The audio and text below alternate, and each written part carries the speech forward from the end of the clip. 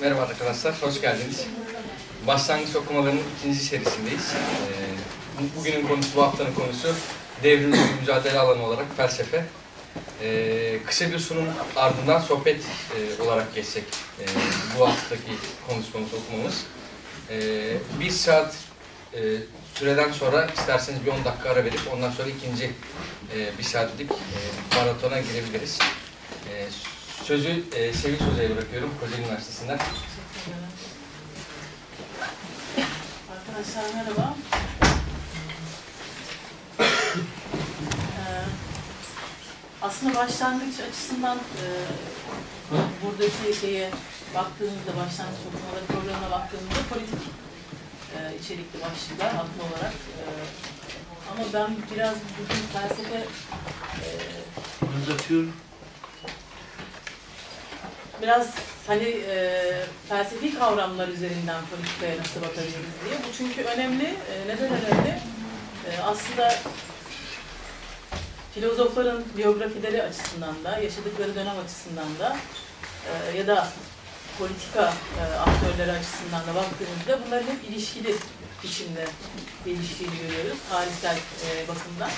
O yüzden bu ayrımın e, güncel açıdan çok e, akademik çevre ya da teorik çevre e, açısından e, bir birliği ya da yakınlığı söz konusu olsa bile gündelik siyasette çok felsefeyle e, yürümediğimizi, aslında çok felsefeyle iş görmediğimizi, e, felsefe aracılığıyla siyasete bakamadığımızı e, söylemek mümkün. Bunun da e, yarattığı belli yüzeyselliklerin olduğu hem pratik açısından hem e, kavrayış tarzımızın e, derinliği açısından e, olumsuz etkileri olduğunu görmemiz mümkün. E, ama tarihsel açıdan işte bunun ancak felsefeyle yani e, yürüttüğümüz siyasi e, faaliyetin ya da e, bir ideolojik fikri e, benimsemenin, onu onu sürdürüyor olmanın bir felsefi derinlikle e, birlikte ancak e, gerçekliğe bir müdahale şansı yarattığını söyleyebiliriz. Bu anlamıyla aslında e, devrimci bir e, faaliyetten bahsediyorsak, devrimci bir fikirden bahsediyorsak bunun nihai olarak felsefeyle zorunlu bir bağ olması gerektiğini e, başlangıç e, olarak paylaşmak isterim. Bu çok kişisel de bulabilirsiniz ama bunu kişisel bir görüş olarak, öznel bir e, argüman olarak söylemiyorum. Tarihsel bir olgu olarak bunun böyle olduğunu görüyoruz. Zaten e, en temelde Marksist düşüncenin felsefeden ne kadar yararlandığını hepimiz e, biliyoruz. Ve bu yararlanma e, söz konusu olduğunda sağlıklı bir e, siyasi yaklaşımın hem düşünsel anlamda hem pratik anlamda e, yürüdüğü dönemlerde ve kişilerde e, belki devrimci önderler açısından e, bütünlüklü bir felsefi okumaya tanık oluyoruz. Lenin'de, Marx'ta, Gramsci'de, Rosa Luxemburg'da e, bu gibi isimlerde güncel e, de bu bahsedebileceğimiz isimler var. Ama Marksist çizgide bir felsefi özün olduğunu görüyoruz. Dolayısıyla bu felsefi özün e, ıskalanamayacağı, askıya alınamayacağı bir öz olduğunu, e, gerçekten devrimci bir teori, devrimci bir pratik e, geliştirme arzusu içindeysek bu özün kaçınılmaz olduğunu, aslında zorunlu olduğunu görebiliyoruz. O yüzden felsefe aslında hepimizin özsel etkinliklerinden birisi olması gerektiğini düşünüyorum. Bunun bir tabii e, engelleyici ya da e, böyle olmasının, algılanmasının nedeni felsefenin çok fazla akademikleşmesi belki buna neden olmuş. Yani çok fazla siyasi e, tartışmaların dışında sanki bağımsız bir e, uzmanlık alanıymış gibi felsefe e, yapıldığı sürece tabii ki insanlarda sanki felsefe işte soyut, aşkın, e, sal, e, tırnak içinde metafizik bir alanmış gibi. Metafizik üzerine de biraz e, belki değinmek isterim. E, dolayısıyla bu böyle bir handikapa neden olmuş. Fel, sanki felsefe tamamen uzmanlık, akademik. Aslında bu e, tamamen şeyle, kapitalizmdeki iş bölümüyle de e, açıklanabilir. Yani e, işte zihinsel emekle maddi emeğin ayrılması gibi e, olgularla açıklanabilir ve e, buradaki en büyük engel e, akademik e, sınırlarda felsefenin görülüyor olması. Çok ciddi bir engel. E, dolayısıyla e, pratik hayatın bir parçası değilmiş gibi e, felsefenin görülmesinin e, yarattığı büyük bir e, siyasi e, siyasetteki yüzeyselliğin büyük bir e, önündeki en büyük engellerden birisinin bu olduğunu söylemek mümkün. Bunu dediğim gibi Marksist e, çizgiye de e, bütün devrimler tarihine de siyasal tarihe de baktığımızda e, bunu söylüyoruz. Yoksa hani dediğim gibi kişisel bir görüş olarak değil. Tabii bize felsefe o zaman devrimci mücadele ya da devrimci müdahale açısından ne e, sağlıyor? E, burada iki ayrımı hepimiz biliyoruz. Yani maddeci yaklaşımla idealist yaklaşım e, arasında bir e, ayrımın e, felsefe felsefe tarihi ya da düşünce tarihi açısından çok temel iki ayrımı oluşturduğunu, aslında diğer ayrımların bu ayrım, bu iki e, çizginin etrafında dolaşıp durduğunu e, görebiliyoruz. E, dolayısıyla devrimci bir e, düşüncede, devrimci bir kavrayışta, devrimci bir yorumlamada e, hangi çizgide durduğumuzun netliğinin bir önemi var. Yani maddeci bir çizgide mi duruyoruz yoksa idealist bir çizgide mi durduğumuz önemli. Burada zaten kısaca hani idealizmi biliyorsunuz, idea fikri. Yani fikir ya da bir aşkın varlık anlayışına dayanan ve öznenin tüm gerçekliği kurduğuna e, ya da zihnin tüm gerçekliği tesis ettiğine ilişkin bir yaklaşım kabaca söylemek gerekirse. Maddecilikte ya da materyalizmde e, bildiğiniz üzere daha Marx'ın da e, içinde olduğu daha eski bir e, tarihi olan gerçekliğin dışımızdaki maddi gerçeklik, fiziksel gerçeklik olduğu. E, dolayısıyla bizim zihnimizi ya da bilincimizi belirleyen e, varlık alanının da maddi olan olduğu. İşte Marx'ın madde mi bilinci belirler, bilinç mi maddeyi mi belirler tartışmasında maddenin bilinci belirlediğini argüman üzerinden maddeciliği de e, örnekleyebiliriz. Bu tabii çok kaba bir ayrım. Yani maddeciliğin çok daha derinlemesine ve idealizmin de çok daha derinlemesine ele alınacak e, bir yaklaşım. E, burada başlangıçta belki söylemek e, söylememiz gereken şey bu iki yaklaşım yaklaşımında kaba bir tanımlamadan ziyade ayrıntılı biçimde incelenmesi işte aslında düşünce tarihi açısından da siyasal tarihi açısından da önemli. Kendi siyasal çizgimizi belirlerken. Dolayısıyla bu yaklaşımları sanki böyle felsefenin konusuymuş gibi düşünsek bile, bile aslında bu, burada çok rahat şeyi görebiliyoruz. Siyasetle felsefenin ortak bir e, hat üzerinde e, geliştiğini görebiliyoruz. E, buradan yola çıkarak şunu söyleyebilirim. E, devrim fikri ya da Marx'ın komünizm için söylediği şey, e, komünizm bir ideal değil, gerçek bir harekettir e, vurgusu. E, aslında buradaki felsefeye kapı aralayan sorulardan birisi. Yani gerçeklik nedir de gerçekliğin bir hareketinden, bir dönüşümünden bahsedelim. Dolayısıyla devrim fikrinin aslında gerçekliği köklü bir şekilde değiştirmesi, radikal biçimde e, yeni bir yaşam tarzına, yeni bir varoluş tarzına e, dönüştürmesi aslında bizim gerçeklik sorununda, e, sorunuyla kaçınılmaz biçimde uğraşmamız gerektiğini e, gösteren yönlerden birisi. Gerçeklik nedir sorusu da tabii ki felsefenin e, temel sorularından e, bir tanesi. İşte bu soruya nasıl cevap veriyorsak aslında biz devrimci fikri ya da siyasal fikri, ideolojilerimizi buna göre oluşturmuş oluyoruz.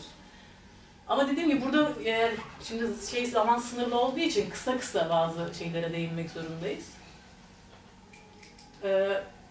Dolayısıyla gerçeklik nedir sorusu bizim açımızdan bir başlangıç sorusu olabilir. Çünkü biz gerçekliği dönüştürmeye çalışıyorsak devrimci bir hamleyle, devrimci bir hareketle e, başka bir siyasal e, yaşam tarzını, başka bir toplumsal yaşam tarzını e, benimsiyorsak ve bunun için çaba sarf edeceksek çıkış noktamız gerçeklik nedir ki biz onu başka bir gerçekliğe dönüştürmeye çalışıyoruz sorusu olmalı.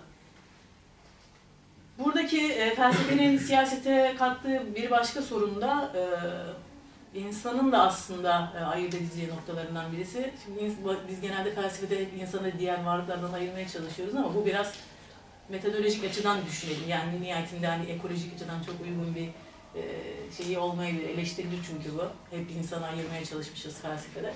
En temelde de akıl sahibi varlık olarak e, nitelendirmemizin ekolojik sıkıntıları var. E, bunun farkında olarak ve bir kenara koyarak e, insanın ayırt edici noktaları. Bu bir üstünlük açısından değil, tamamen e, insanı insanın kendi doğasına mahsus bazı özellikleri olduğunu açıklamak açısından önemli. E, insanın değer ve anlam veren bir varlık olması aslında diğer canlılardan e, bizi ayıran temel e, düsturlardan birisi. Dolayısıyla toplumsal varlığımızı belli değerlere ve belli anlamlara e, anlamlar atfederek inşa ediyorsak devrimin de yeni değerler ve yeni anlamlar yaratma fikri olarak bir anlamı varsa değer ve anlam sorununu yine gerçeklik sorunu gibi felsefi açıdan ele almak durumundayız ya da felsefe ve e, politika açısından ele almak zorundayız. Buradaki temel tartışmalardan bir tanesi de tabii gerçeklik e, eğer bizim dışımızda var olan ve bizim de dahil olduğumuz e, tüm varoluş e, tarzları, tüm varoluş biçimleri olarak, bütün bunların toplamı olarak ve sonsuzluğu olarak belki e, düşündüğümüzde işte nesnel değere ya da nesnel anlamlara nasıl ulaşabiliriz? Aslında burada da işte en temel e, soru nesnel bilgiye nasıl ulaşabiliriz? Bu çok klasik bir felsefe sorusudur. Ama bu çok siyasi bir sorudur. Yani e, madem ki biz işte e, gerçekliği e, dönüştürmeye dönük bir eğilim içindeysek nesnel gerçekliği kavramak zorundayız. Nesnel gerçekliği kavramadan nesnel bir müdahalede bulunamayız. Yani yaptığımız tüm edimler aslında daha öznel, daha kişisel ya da daha kapalı müdahaleler olacaktır. Belli bir kitleyle e, sınırlı e, müdahaleler olacaktır. Dolayısıyla e, devrim bu anlamıyla e, düşündüğümüzde yeni değerlerin e, aslında savunulması e, ama bu değerlerin e, nesnelliğinin nasıl kurulacağına ilişkin bir e, soruyla sürdürülür. Burada tabii siz istediğiniz zaman katılabilirsiniz. Yani bir şey, şey sohbet düzeyinde olursa daha iyi olabilir ama e, yani nesnel bilgiye ulaşabileceğimize ilişkin bir fikriniz varsa bunu e, paylaşmanızda yarar var. Hem tartışmayı sürdürmek açısından da e, önemli. Ya da nesnel değerlere sahip olabilir miyiz? Etik değerlerden şimdilik bahsedelim. Bu konuda bir fikri olan var mı? Yani nesnel bilgiye nasıl ulaşabileceğimiz hususunda gerçekliğin bilgisine ulaşabilir miyiz? Çünkü şu andaki e, yürütülen e, teorik tartışmaların önemli bir kısmında nesnelliğin e, mümkün olmadığına ilişkin çok fazla argüman var. Özellikle bu son fizik e, yani maddeyle ilişkin, maddeye ilişkin e, tartışmalarda e, maddenin hareketinin kavranılamaz olması. İşte ben çok fizik bilmem ama merakla biraz da şey takip ediyorum. Hani o dalga hareketinin bilinemiyor olması, aslında zihin tarafından kuşatılıyor, kuşatılamıyor olması. Bu acaba bizim nesnel bilgiden vazgeçmemize e, neden olan bir e, şey mi, sonuç mu? Bilimsel anlamda. Nesnel bilginin olanaklı olduğunu düşünüyorlar mı? Birinci çıkış duyularla oluyordu mesela. Duyularla ulaşmaya çalışıyordu ama onun da karşı argüman her zaman geliyor. Duyuların e, yanılması gibi, yanılgı olması yani tercih ettiğimiz e, duyular oluyordu. Duyular bize nesnel bilgi verebilir mi sizce? Yeterli değil. Yani bu önemli bir soru çünkü biz e, eğer devrim fikrini benimsiyorsak ki devrim fikri e, nihayetinde Marksist e, düşünceye baktığımızda, Marksist e, düşünce tarzında devrim ve biliyorsunuz dünya ölçeğinde bir e, dönüşümün e, öngörüldüğü bir, e, yani komünizm dediğimiz e, toplumsal sistemin dünya ölçeğinde bir dönüşüme neden olacağı gibi bir argüman söz konusu. Dolayısıyla burada bir nesnel argüman var. Yani bunun e, Marx tarafından öne sürülüyor olmasının nesnel temelleri olmalı. Acaba Marx çok öznel bir argümanla mı bunu temellendiriyor? Nihayetinde kapitalizmi çözümlemesi doğru. Yani onu o çözümlemeyi e, doğrulayan zaten bir pratik var. Tarihsel bir e, süreç var. Kapitalizmin hareketinin e, tabii ki şu andaki günümüzü açıklayamayan bir sürü kısmı da var ama Marx bir hamle ileri e, geçiyor ve e, bir şekilde kapitalizmin kendi krizi nedeniyle, kendi çelişkileri nedeniyle sınıfsız topluma geçişin mümkün olduğunu söylüyor. Bunu tabii devrim fikrinden bağımsız olarak düşünmüyor. Acaba çok öznel bir öngörü mü bu? Ya Marx sallıyor mu? Yani Marx yanılabilir. Hani burada illa Marx haklı çıkacak gibi bir şey merhabalar. Savunmak gibi değil de ama Marx'ın ortaya koyduğu argüman bilimsel temellerle ortaya konulmuş bir argüman. Yani kapitalizmin hareket yasasını keşfetmeye çalışıyorum diyor ve bu hareket yasasını e, ve kullandığı temel kavram eğilim kavramıdır. Bakın hep yasak kavramından ziyade e, tarihsel bir eğilimden bahsediyor. Kapitalizm yasasından ki bilimsel e, açıdan kullandığı bir terim bu. Bu önemli yani nesnel bilgi eğilimin yasasını keşfetmektir diyor. Marx'ın özgün taraflarından biri budur. Kapital ciltte de aynı kavramı sürdürür. Eğilimin yasasını keşfederseniz nesnel bilgiye ulaşırsınız diyor. Bu aslında güncel fizik tartışmalarıyla da çok şey uyuşan bir şey. Yani e, mutlak bir bilgi yok. Eğilim var ve o eğilimin yasası e, söz konusu. Yasayı keşfederseniz bu eğilimin sınırsız bir topluma doğru e, gittiğini tarih açısından e, görebiliriz diyor. Çok iddialı gelebilir ama bunu bilimsel olarak temellendiriyor Marx. Marx'ın özgün taraflarından birisi de budur. E, aslında önerdiğiniz makalede de kısmen buna değiniliyor. Yani anlatılan senin hikayen dediği kısımda aslında o toplumsal ya da evrensel bir tarih anlatısı olduğunu ileri sürerken bu evrensel tarihi yine evrensel başka bir dönüşüme neden olacağına ilişkin bir argümanla hareket ediyor. Kendinden sonraki yani yaşadığı dönemin ötesinde bir şey söylemiş oluyor aslında. Ve bunu e, bilimsel bir temele dayandırarak söylüyor. Bu önemli çünkü e, nesnel bilginin nasıl olanaklı olduğu, işte devrim fikri e, devrimin devrim için savunduğumuz değerlerin nesnelliğini e, temellendirmek açısından önemli. Yani devrimci bir fikir kendisini nesnel olarak temellendirmeli.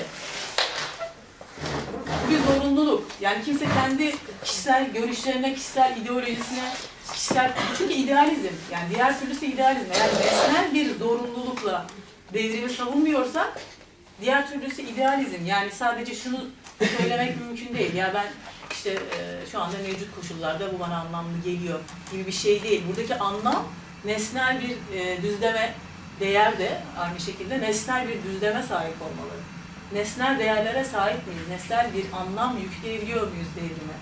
Devrim bu anlamıyla iradi bir şey değil. Doğrudan doğruya tarihsel zorunluluğa dayanan e, bir olgu olarak karşımıza çıkıyor. İşte bunu, bu tartışmayı derinleştirmemize olanak sağlayan şey felsefe.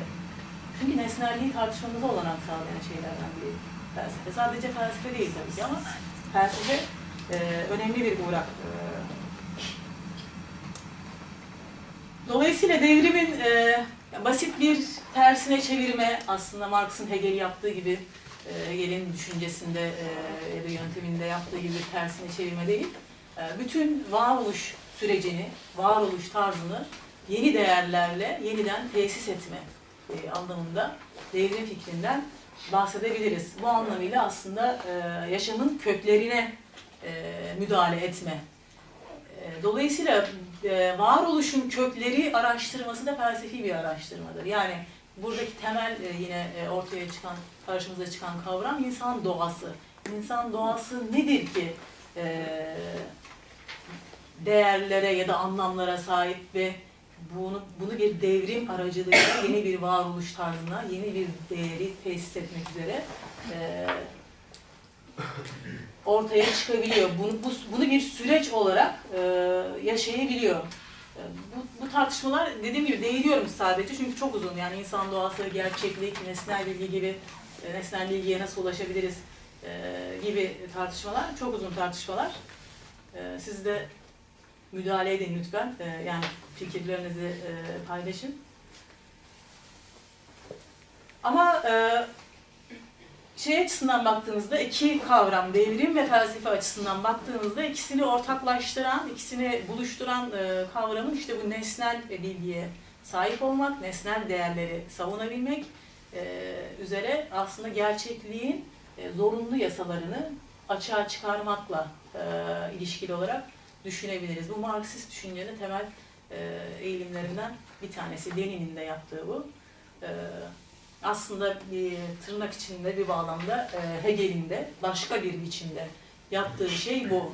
yani zorunluluk özgürlüktür e, ya da özgürlük zorunluluktur e, argümanı farklı biçimlerde e, felsefe tarihinde ve e, siyasal düşünce tarihinde ortaya çıkıyor. Dolayısıyla biz burada Marx'ın Marx'tan da yola çıkarak şunu söyleyebiliriz. Aslında devrim e, zorunluluğun yasasını açığa çıkarmaktır. Ne anlamda? E, eğer komünist bir devrim e, devrimin zorunluluğundan bahsediyorsak burada bir toplumsal özgürlüğü hedefleyen ve bunu işte evrensel bir değer olarak gören bir devrimden bahsediyoruz demektir. Bakın burada evrensel bir değerden ve Lenin bunu çok açık bir şekilde ifade ediyor. Bu bir erdemdir diyor. Toplumsal ya da evrensel bir değer olarak özgürlüğü savunmak ve bu e, bunu savunurken devrimci bir mücadele, devrimci bir çaba içinde olmak evrensel bir erdemdir diyor. Bu aslında idealist felsefenin çok fazla kullandığı bir şeydir. Yani evrensellik, erdeme ya da etik e, ilkelere bir evrensellik atfetmek, işte Kant'taki kategorik imperatif dediğimiz şeydir. Ne yaparsan yap, işte diğerini bir özne olarak gözet. Akıl sahibi varlığını, kendin bir akıl sahibi varlık olarak yaptığın eylemle diğer akıl sahibi varlıkları gözet. Bu bir buyruktur mesela Kant'ta evrensel bir buyruk. Ya da Platon'daki idea. O der ki işte iyi en yukarıda, en üstün varlıktır. O iyiyle buluşursan, o iyiyle kaynaşırsan, iştirak edersen o iyiye, sen de erdemli eylem içinde bulunursun. Bu ide idealizmin evrensel ya da e, iyi kavramı. Ama enteresan biçimde Marksist çizgide evrensellik başka bir e, tarzda, maddeci bir tarzda, e, gerçekçi bir tarzda e, ele alınıyor ve e, şeyin Lenin'in çok enteresan bir ifade. Yani Lenin bize böyle daha e, politik bir aktör olarak düşünüyoruz ama Lenin'in e, ciddi bir felsefi e, çabası söz konusu gençlik yıllarından itibaren. Marx'ta da bu var. Ve e, çok sık söylediği bir şey yani devrimci bir fikrin e, felsefi bir derinlikle sürdürülmesinin kaçınılmaz olduğunu söyler Lenin. Marx da bunu söylüyor. E, farklı biçimlerde. E, ama şunu e, çok rahat görebiliyoruz. Yani devrimci bir fikrin buluşacağı temel disiplinlerden birisi felsefe. Ve bu, bu olmazsa olmaz diyor. Yani özellikle gençlerin eğitimi açısından felsefeyle, teoriyle, felsefe dediğimiz şey işte akademik felsefe değil. Tam da bu sorunlarla uğraşması. Gerçeklik nedir? Nesnel bilgi nedir? Erdem nedir? Anlam nedir? ya da değer nedir sorunlarıyla uğraşmayan bir devrimci yüzeysel kalır.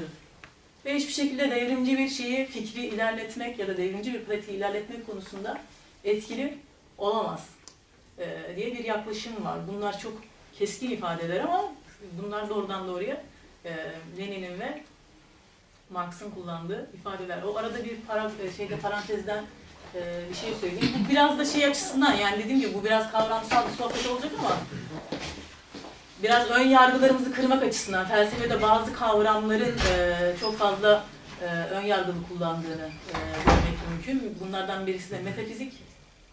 Metafizik e, kendi e, fikrimi söylemem gerekirse felsefede aynı anlamda kullanılabilir. Biz hep böyle dini, teolojik şeylere metafizik diyoruz ama metafizik felsefe yapmakla çok yakın anlamda e, kullanılabilir.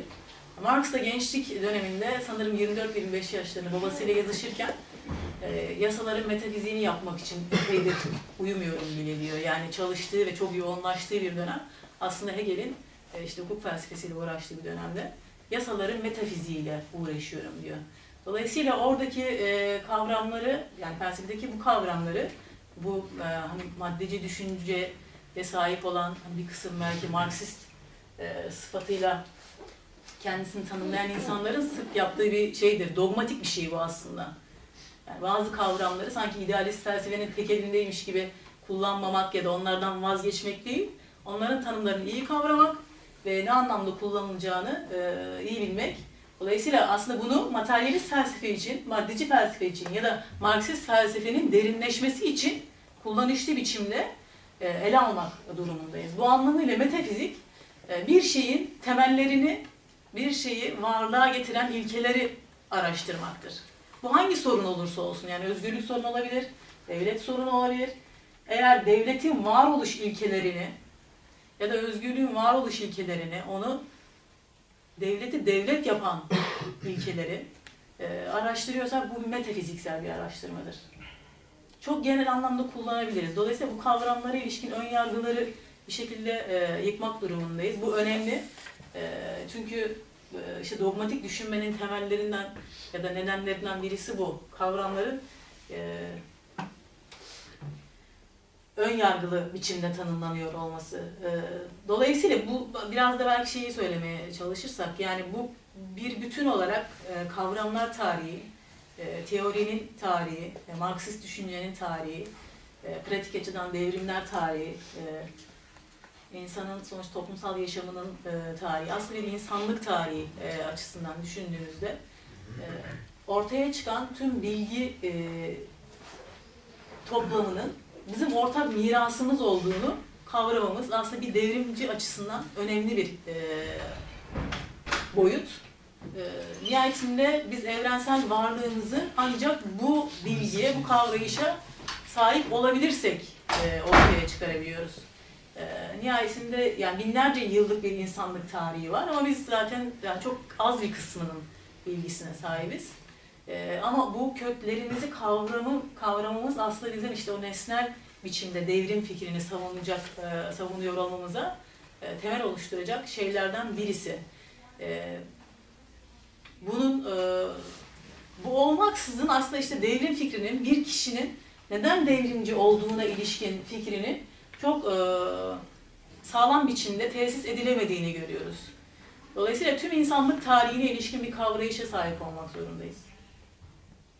Bu aynı zamanda gene felsefi bir terim olarak ontolojik bir e, aslında derinleşme olarak düşünülebilir. Yani kendi varlığımıza ilişkin bir soruşturma olmaksızın aslında devrimci bir aktörün, devrimci bir e, şahsiyetin ya da bireyin nasıl olacağına ilişkin fikrimiz her zaman yüzeysel kalır. Yani birileri e, ya da bir grup içinde e, bir siyaset yürütmek durumundaysak o grubun e, yürüttüğü biçimde e, ve sıradan ya da yüzeysel biçimde o e, varoluşun bir parçası oluruz.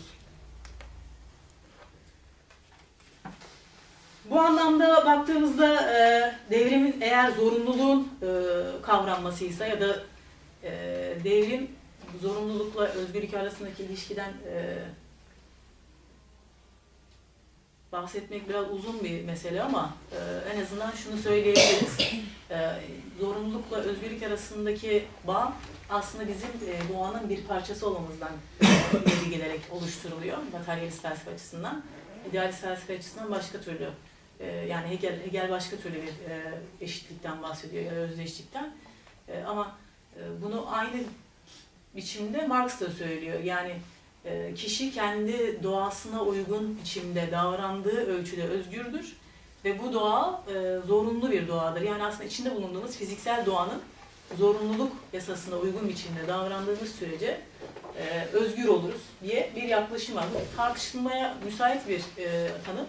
Yani doğanın yasası, doğanın zorunlu yasasına e, uygun biçimde davranıyor olmamız bizi e, özgürleştirir argümanı bir özgürlük felsefesi bu. Bu konuda fikirlerinizi merak ederim yani. Sizce böyle mi? Yani biz doğaya uygun içinde yaşadığımız zaman ancak özgürleşebiliriz e, diye kabaca ifade etmek gerekirse.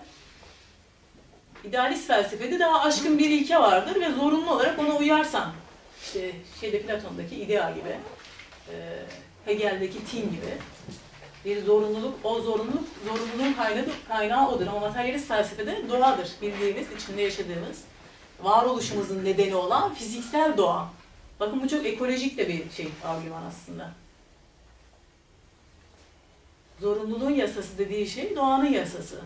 Yani doğanın ekolojik bir birey olursan aslında özgürlüğünün koşulunu yerine getirmiş olursun diye daha güncel biçimde de formüle edilebilir. Ama bu şekilde sorulduğu zaman hani doğa, insan doğası, ya işte bizim doğamız, hani böyle bir idealist sanki felsefeye de yaklaşmıyor mu yani? Hani bu çok soyut bir soru olarak kalıyor.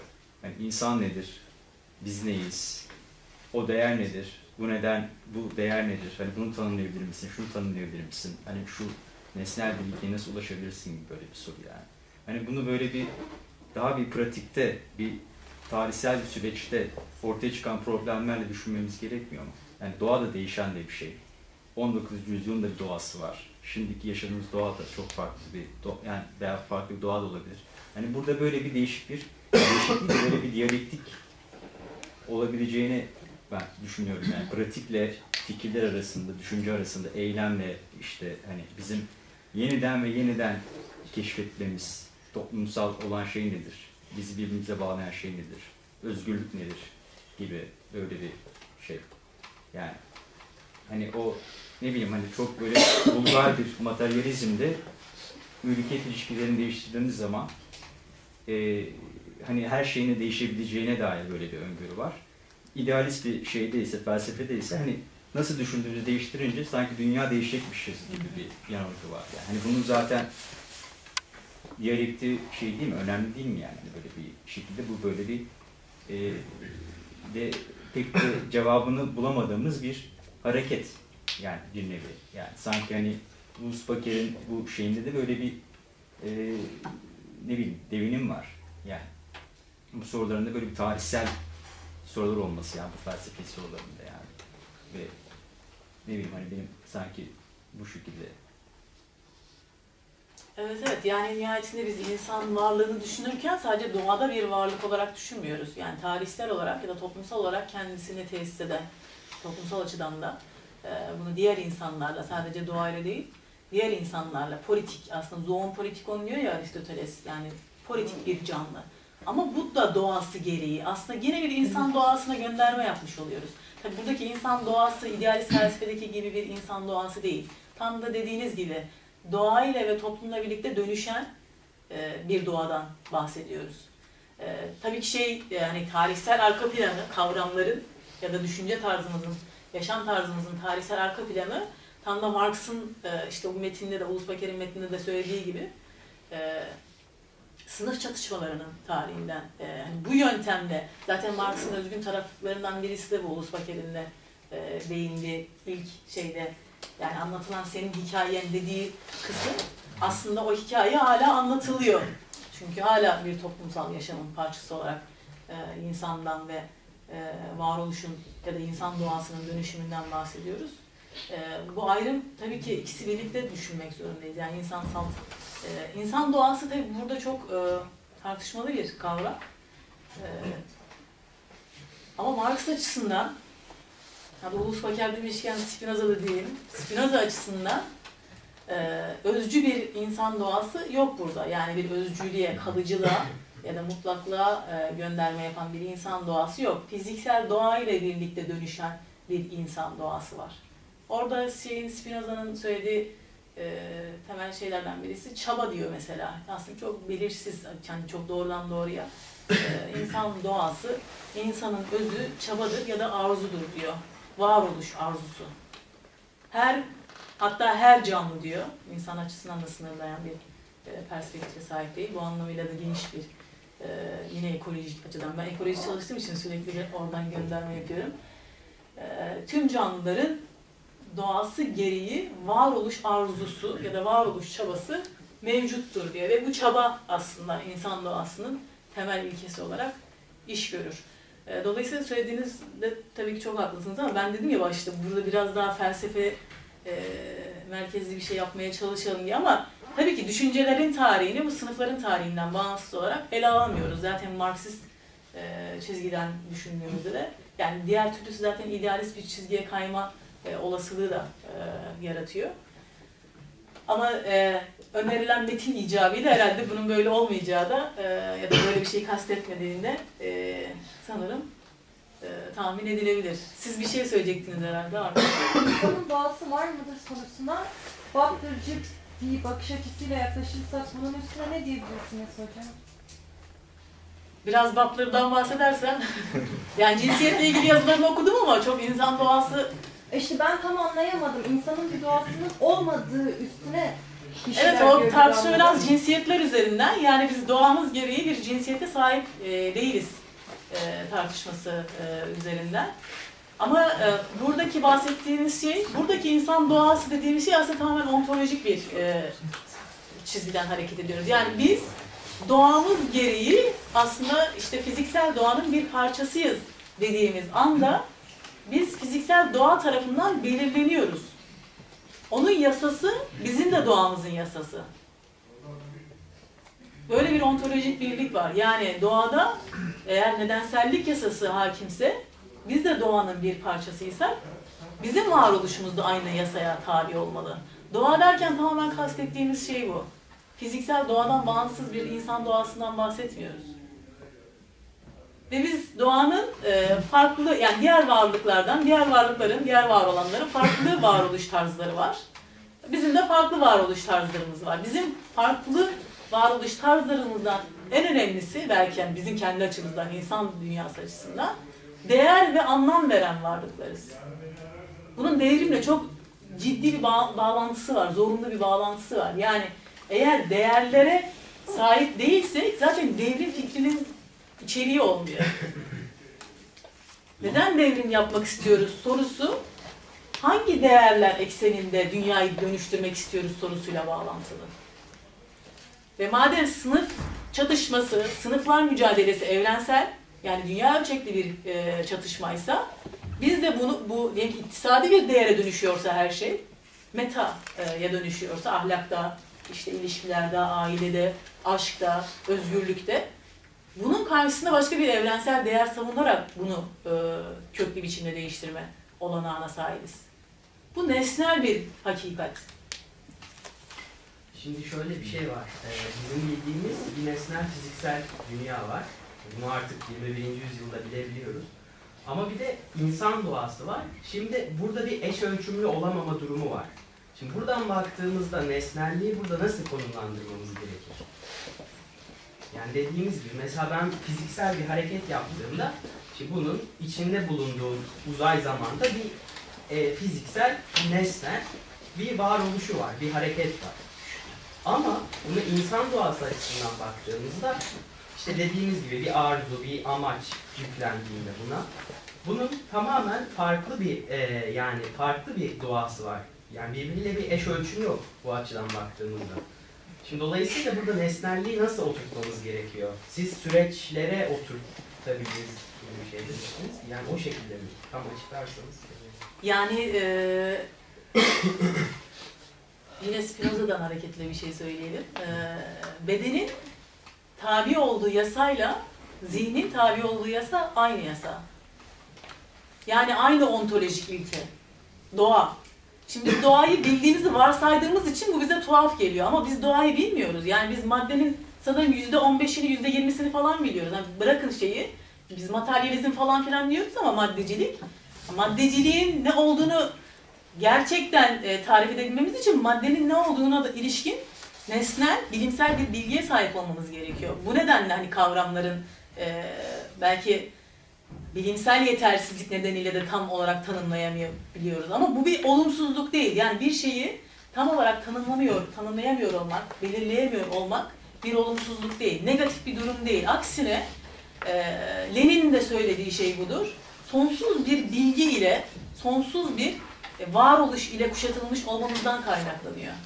Ama e, sizin sorunuza söyleyeceğim şey, beden ve zihin aynı yasaya tabi ise e, dolayısıyla burada hani amaçlar koyuyor olmak, e, amaç atfediyor olmak, değer atfediyor olmak, anlam atfediyor olmak bizim be- bedensel varoluşumuzdan bağımsız bir varoluşa, ontolojik bir e, düzeye sahip olduğumuzu gösteren bir şey değil. Bedenimizle zihnimiz, sonuçta zaten insan doğası eğer fiziksel doğanın bir parçası olarak e, vuku buluyorsa bunun e, bir şekilde e, aynı yasaya tabi olması ve birlikte dönüşüyor o. Birliğinden bahsetmek zorundayız. Ontolojik bir birlikten bahsediyorum. Zihinle bedenin birliği ve bu birliğin tüm evrenle ya da tüm doğayla birliği. Bizim zihnimizin bedenden bağımsız e, bir şey yapıyor olduğunu düşünmek bu as idealizm dediğimiz şeyi temel şeylerinden birisi bu. Yani ontolojik olarak birbirinden bağımsız olduğunu e, söylemek. Bunun karşılıklı etkileşim içinde olduğunu söylemek durumundayız. Yani aslında Marx'ın söylediği şey de çok geliştirilmeye müsait, hatta eksik olduğunu da söyleyebiliriz. Yani madde mi bilinci belirler, bilinç mi maddeyi belirler tartışmasında madde bilinci belirler dediği şey sınırlı bir şey. Yani bize çok fazla bir şey açıklamıyor aslında. Çünkü bilinç de maddeyi belirler. Bu doğası gereği bir etkileşimdir. Karşılıklı bir ilişki e, söz konusudur. Ayrıca zihnin de e, işte ontolojik açıdan değil ama kendi yapısı itibariyle bağımsız bir kısmı olduğunu söyleyebiliriz. İşte felsefe aslında bunu yapıyor. Kavramlar üzerine kavramlar geliştiriyoruz ya da kavramlardan kavramlar türetiyoruz. Bu zihnin bir anlamda bağımsızlığı aslında. İdeadan idea üretiyoruz. Düşüncenin düşüncesini e, yürütüyoruz. Bu bir etkinlik, zihinsel bir etkinlik. Refleksiyon dediğimiz şey. Yani aslında düşüncenin zihnin kendi içine kıvrılması. Bu önemli çünkü yani kendi e, sahip olduğumuz bilgileri, kendi varlığımızı, varoluşumuzu sorgularken aslında bunu yapıyoruz. Yani kendi varlığımızın içine kıvrılıyoruz, müzülüyoruz. Bu devrimcilik açısından, yani devrimcilikten bağımsız bir şey değil. Devrimci bir fikrin oluşmasının koşulu zihnin bu derinliği yakalaması. Ama tam da hani arkadaşımızın uyardığı gibi bunun tarihsel bir e, bilgiyle sürdürülüyor olması. Diğer türlüsü idealizm. Yani düşüncenin salt kavramlar üretmesi diye bir şeyden bahsetmiyoruz. Gerçek kavramlar üretmesi. Gerçek varoluşunu konu alarak bir refleksiyon süreci içine girmesi.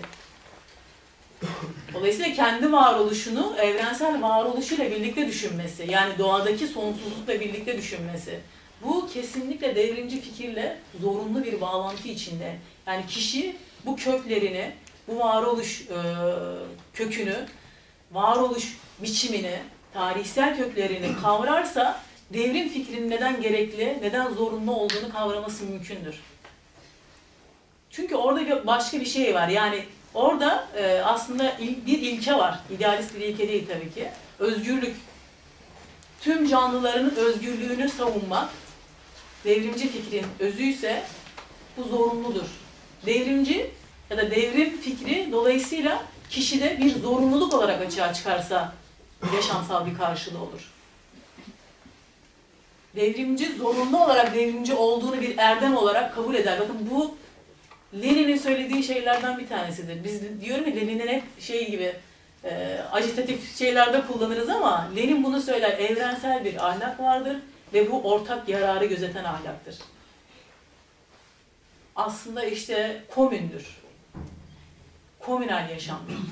Komünel yaşamda ortak e, çıkarların, ortak yararın gözetildiği bir e, değer söz konusuysa bu elbette ki evrensel, evrensel hani e, nesnel anlamında kullanıyoruz. Evren, idealist anlamda değil. Bu nedenle şeyi söylemeye çalışıyorum. Yani bazı kavramlar idealizmin tekilinde gibi gözüküyor ama öyle o yani bir Marksistin, bir devrimcinin bu kavramları, e, kavramların anlamlarını yeniden tanımlayarak ya da mevcut anlamlarını açığa çıkarak, çıkararak e, o şeyden idealist felsefenin altından kurtarması gerekir. Metafizik bunlardan birisidir, ontoloji bunlardan birisidir, e, evrensellik bunlardan birisidir. Dolayısıyla bu kavramlardan bağımsız olarak devrim fikrin olası olduğunu düşünmek e, aslında çok yüzeysel bir düşünme e, tarzı olarak ifade edebiliriz. E,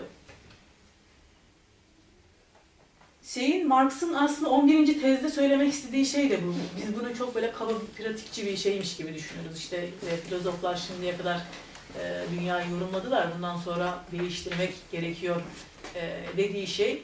E, aslında özet olarak şunu söylüyor Marx. Daha fazla felsefe yapmalıyız. Hadi. Şimdi bu kavramlardan gitmişken birkaç tane katılan bir şey var.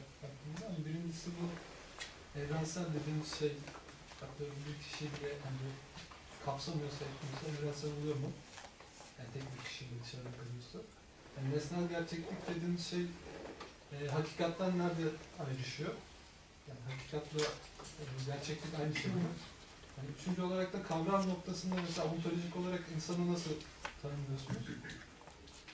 Bu size biraz özel bir soru. Bizim sonra alayım. Tabii gerçeklikle hakikat kavramları ayrı e, kavramlar. Gerçeklik aslında varoluşun bütünü olarak, var olanların bütünü olarak, bizim de dahil olduğumuz e, varlık alanı olarak düşünebiliriz.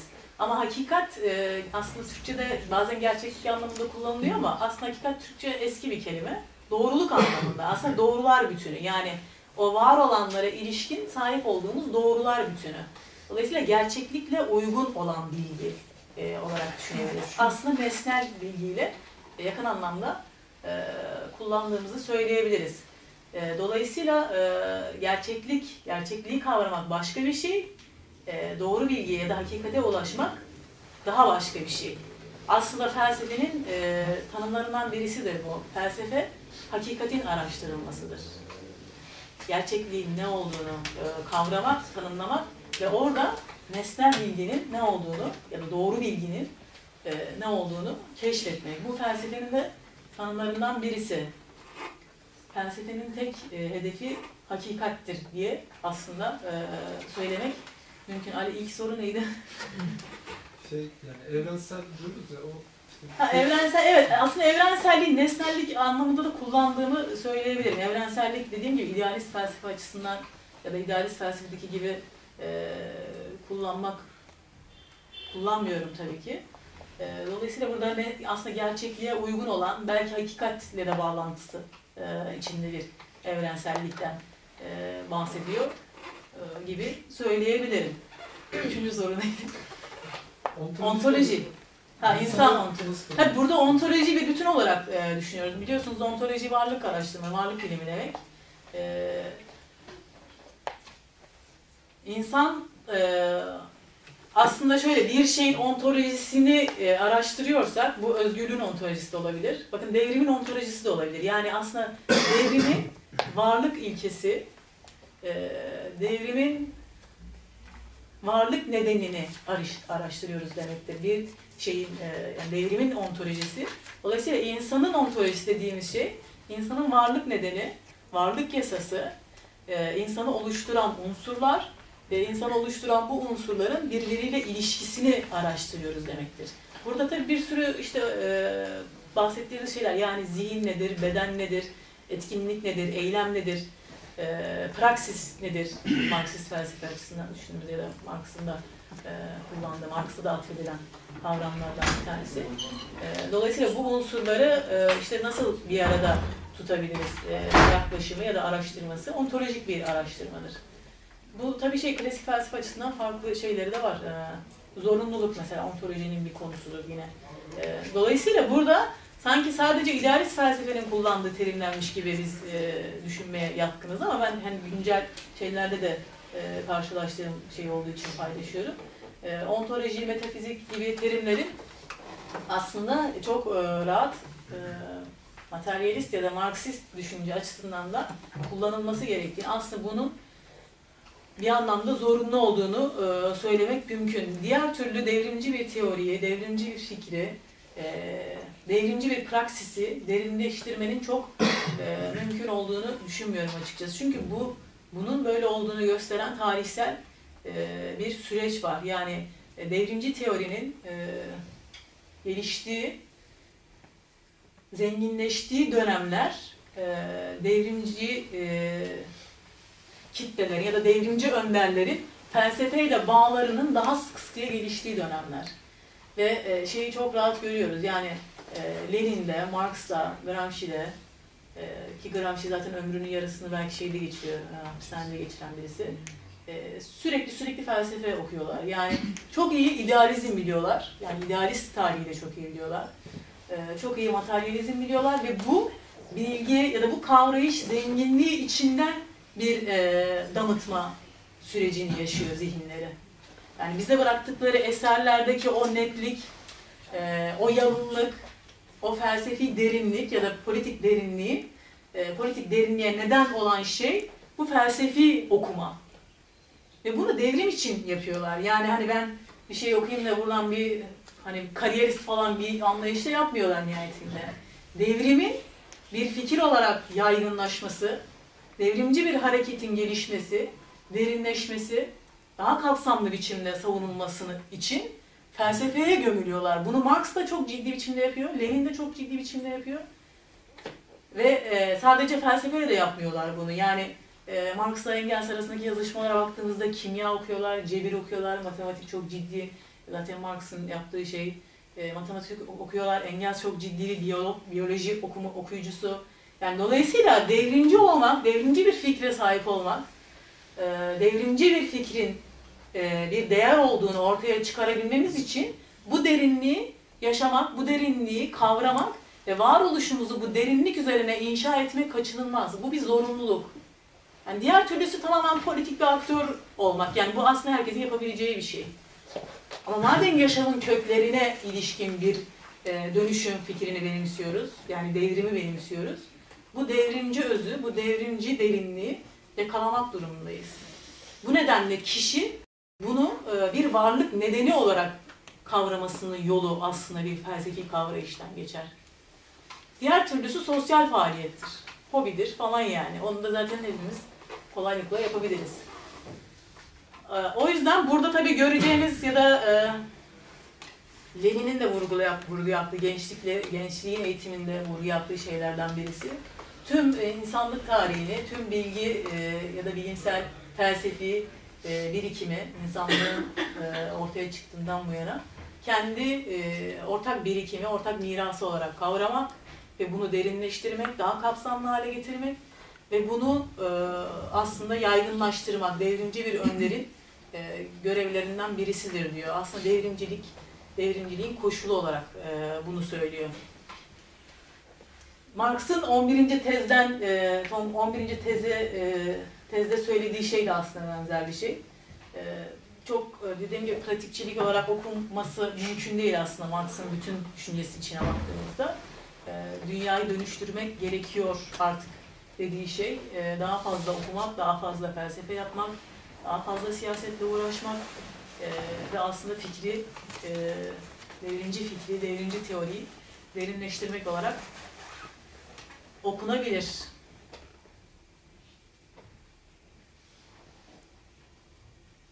Var mı sizin söylemek istediğiniz bir şey? Buyurun.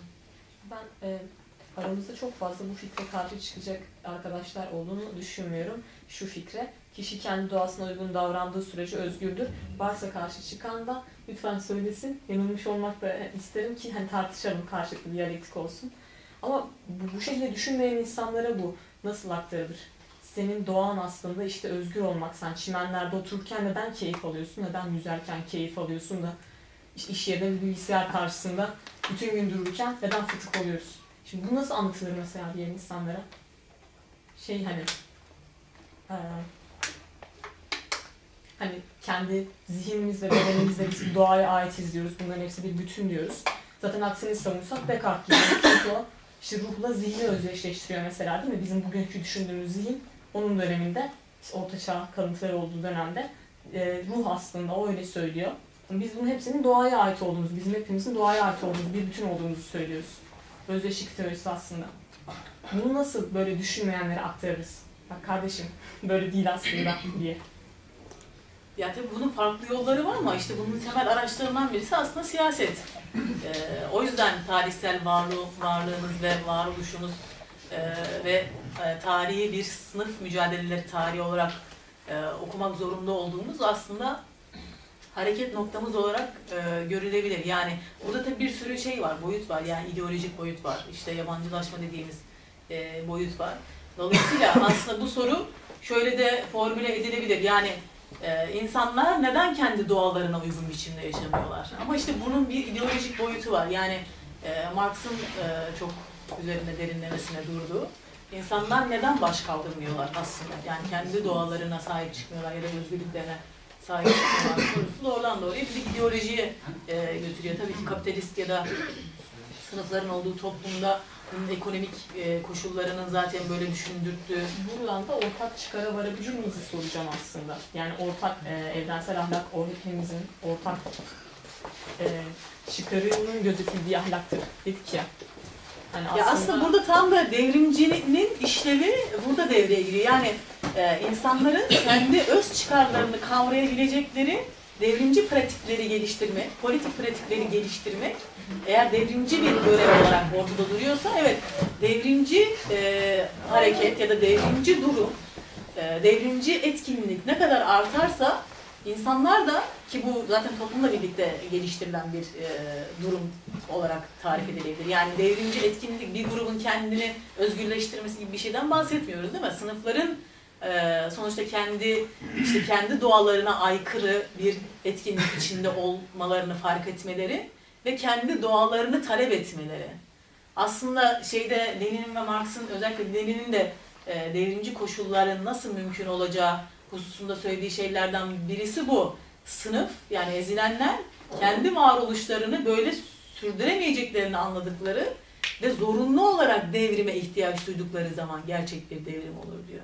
Bunun tabii nesnel koşulları da olması gerektiğinden bahsediyor. Yani e, kapitalist üretim ilişkilerinin belli bir düzeye e, ulaşmış olması.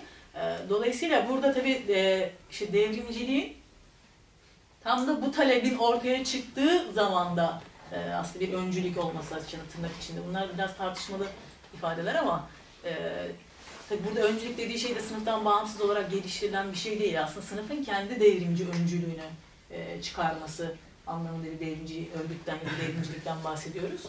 Dolayısıyla bu öncülüğün e, ya da e, insanların ezilenlerin zorunlu olarak artık mevcut durumda yaşayamayacaklarını anlamaları ancak devrimci. Yani tam da dediğiniz gibi kendi doğamı yaşamak istiyorum.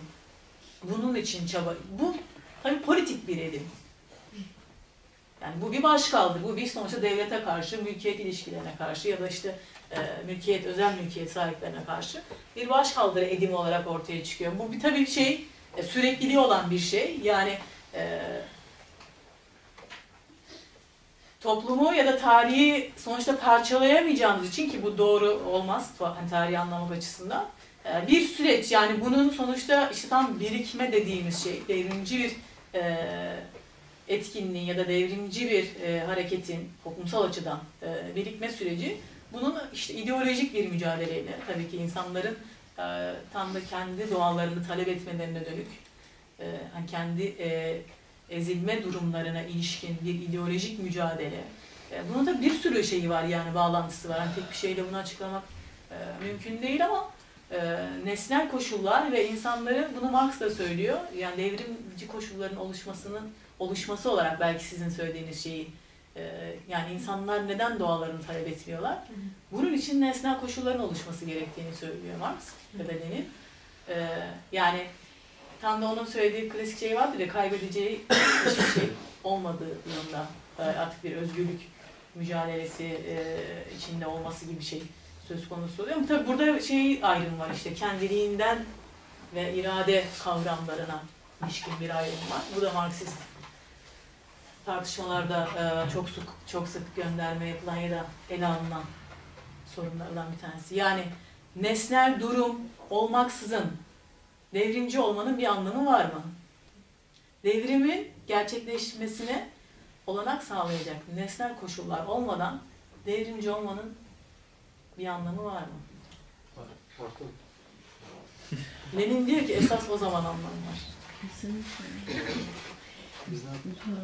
Buyurun buyurun. Birikince dediniz ya, e, biriktirirseniz birikir. O arkadaşın söylediği masa başında oturuyor, fıtık oluyor. Evet kapitalizm fıtık yapar. İnsanın doğasına da aykırıdır.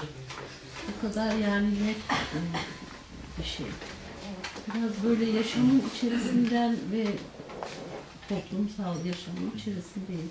Bir parçası olarak günlük yaşamdan düşünüldüğünde e, sizin anlattıklarınız, sizin de biriktirdiğiniz şeyler yani Türkiye gibi ülkelerde neden düşünmenin, felsefenin yasaklandığı ve özellikle de üzerine gidildiği mesela felsefe ağırlıklı konuşan o sözcükleri kullanan e, kafayı yemiş modunda bakıldığı ya bunlar e, şey değil, tesadüf şeyler değil. Ya düşünme işte Karadeniz'de gemilerin mi battı? Düşün düşün bilmem nedir işin. Yani o kadar insanlar iğreti bir şekilde uzaklaştırılıyor ki düşünmeden felsefeden. Mesela dediğiniz akademik düzeyde kalıyor. Özellikle yapılıyor. Yani akademik düzeyde. Yani felsefe işte okullarda okutulan bir ders gibi. Ee, Oysa şeye bile e, İslamcılara bile lazım olan bir şey ki e, bir ara e, belki basında takip ettiniz İlahiyat Fakültesinde böyle felsefe, dini felsefe derslerinin kaldırılmasını istemiş bir grup. Bir grup da karşı çıkmış. Tümden tıkanır kalırız demiş. Yani dini, dini kuralların da gelişmelere uygun olarak değiştirilmesi gerekiyor. Hani tartışıyorlar işte kapitalist üretim ilişkileri hani değişiyor, dönüşüyor. Ona göre namaz saatlerini ayarlamak, uzatmak, kısaltmak. Yani yaşamın yaşamın özü olan bir şey felsefe. Şeyde e, Şeyh Bedrettin e, gerçekler ölüdür. Onu inanan insanlar açığa çıkarır. Diyor. Yani işte bazen de sizin de söylediğiniz gibi gerçek ve hakikat e, bir şeyde kullanılıyor. Yani örtüşüyor. E, bazen gerçekliğin yerine hakikat deniyor. Bazen işte gerçeklik deniyor. Sonuçta devrimci olmak gerçekleri açığa çıkarmaya çalışmak. Bunu da ne kadar çok gayret ederseniz nesnel koşullara da o denli oluşturmuş olursunuz. Yoksa sistem kapitalist sistem bildiği gibi işler gider ve tıkandığı yerde kendi krizinin içerisinden kendi tekrardan üretir, devam edip gider diye düşünüyorum. Evet yani şey buyurun. Şey? Evet o e, nesnel koşullar oluş, oluşmadan devrimci olmamızdan var mı ismini? Benim sanırım şeyde diyordu, devlet ve devrimde diyor. Önemli olan devrimci dalganın bütün topluma yayıldığı zaman, herkes tarafından öngörüldüğü zaman bir devrimin olacağı. O zaman önemli değil. Önemli olan kitle hareketinin sönük olduğu zamanları devrimci olmak. Yani insanların apolitik olduğu, politikadan uzak olduğu zamanlarda o nesnel koşulları yaratmak adına devrimci olmak. Yani. Evet evet aynen öyle. Yani şey gerici koşulların olduğu, Evet, gerici e, koşullar daha fazla e, hegemonik ilişkilerin olduğu, devletin daha otoriter olduğu, sınıfın daha güvencesiz olduğu zamanlarda devrimci olmak Evet, daha anlamlı diye. dalgası zamanında zaten herkes bir şekilde onun bir parçası oluyor yani. Yani burada aslında şeyi görebiliyoruz. Burada bir değer olarak devrimden, sadece bir siyasi hamle olarak, politik hamle ya da politik ekonomik bir hamle olarak değil, bir değer olarak, evrensel ya da nesnel bir değer olarak e, savunulduğunu görüyoruz. Buradaki sorun tabii e, tam sizin de vurguladığı gibi yani bu nesnel bilgiye, işte nesnel gerçekliğe de sahip olduğumuz bilginin, kavrayışın nesnel bir kavrayış olduğundan nasıl emin olacağız? Bu çok zor bir şey. Yani bu böyle hani iki tane kitap okudum, yok üç tane sohbet ettim, iki sene e, siyasi faaliyet yürüttüm falan da e, açıklanacak bir şey değil. Bu gerçekten ömür vermeyi gerektiren bir şey. Yani devrimcilik bu anlamıyla varoluşsal e, bir şey. Yani kişi e, bunu yaparsam var olabilirim dediği zaman devrimci bir e, fikre ya da devrimci bir birey ya da şahsiyete sahip olabilir. Bu kadar zorunlulukla açıklanacak bir şey. Nihayetinde tam da sizin hatırlattığınız gibi bunu Marx da söylüyor. Yani eğer gerçeklik zaten görebildiğimiz gibi olsaydı herkes onu kavrardı. Yani biçimle öz çakışsaydı ne felsefeye ne bilime ihtiyaç olurdu.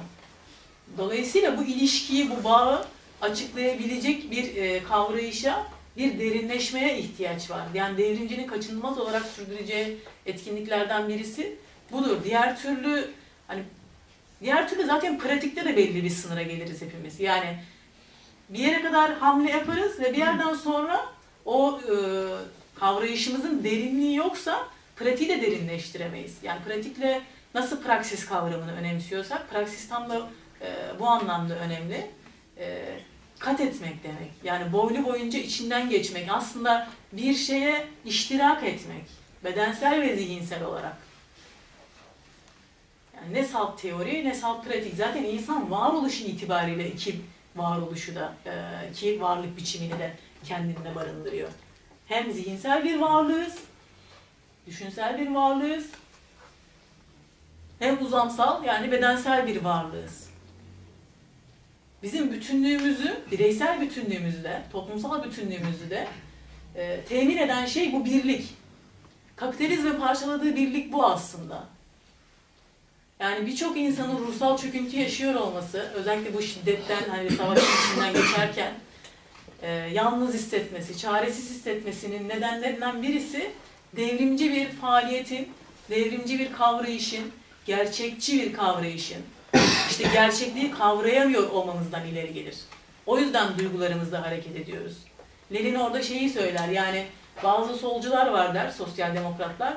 Ee, kendi öznel düşüncelerini gerçeklik zannediyorlar ve sürekli duygusal refleks de bulunuyorlar.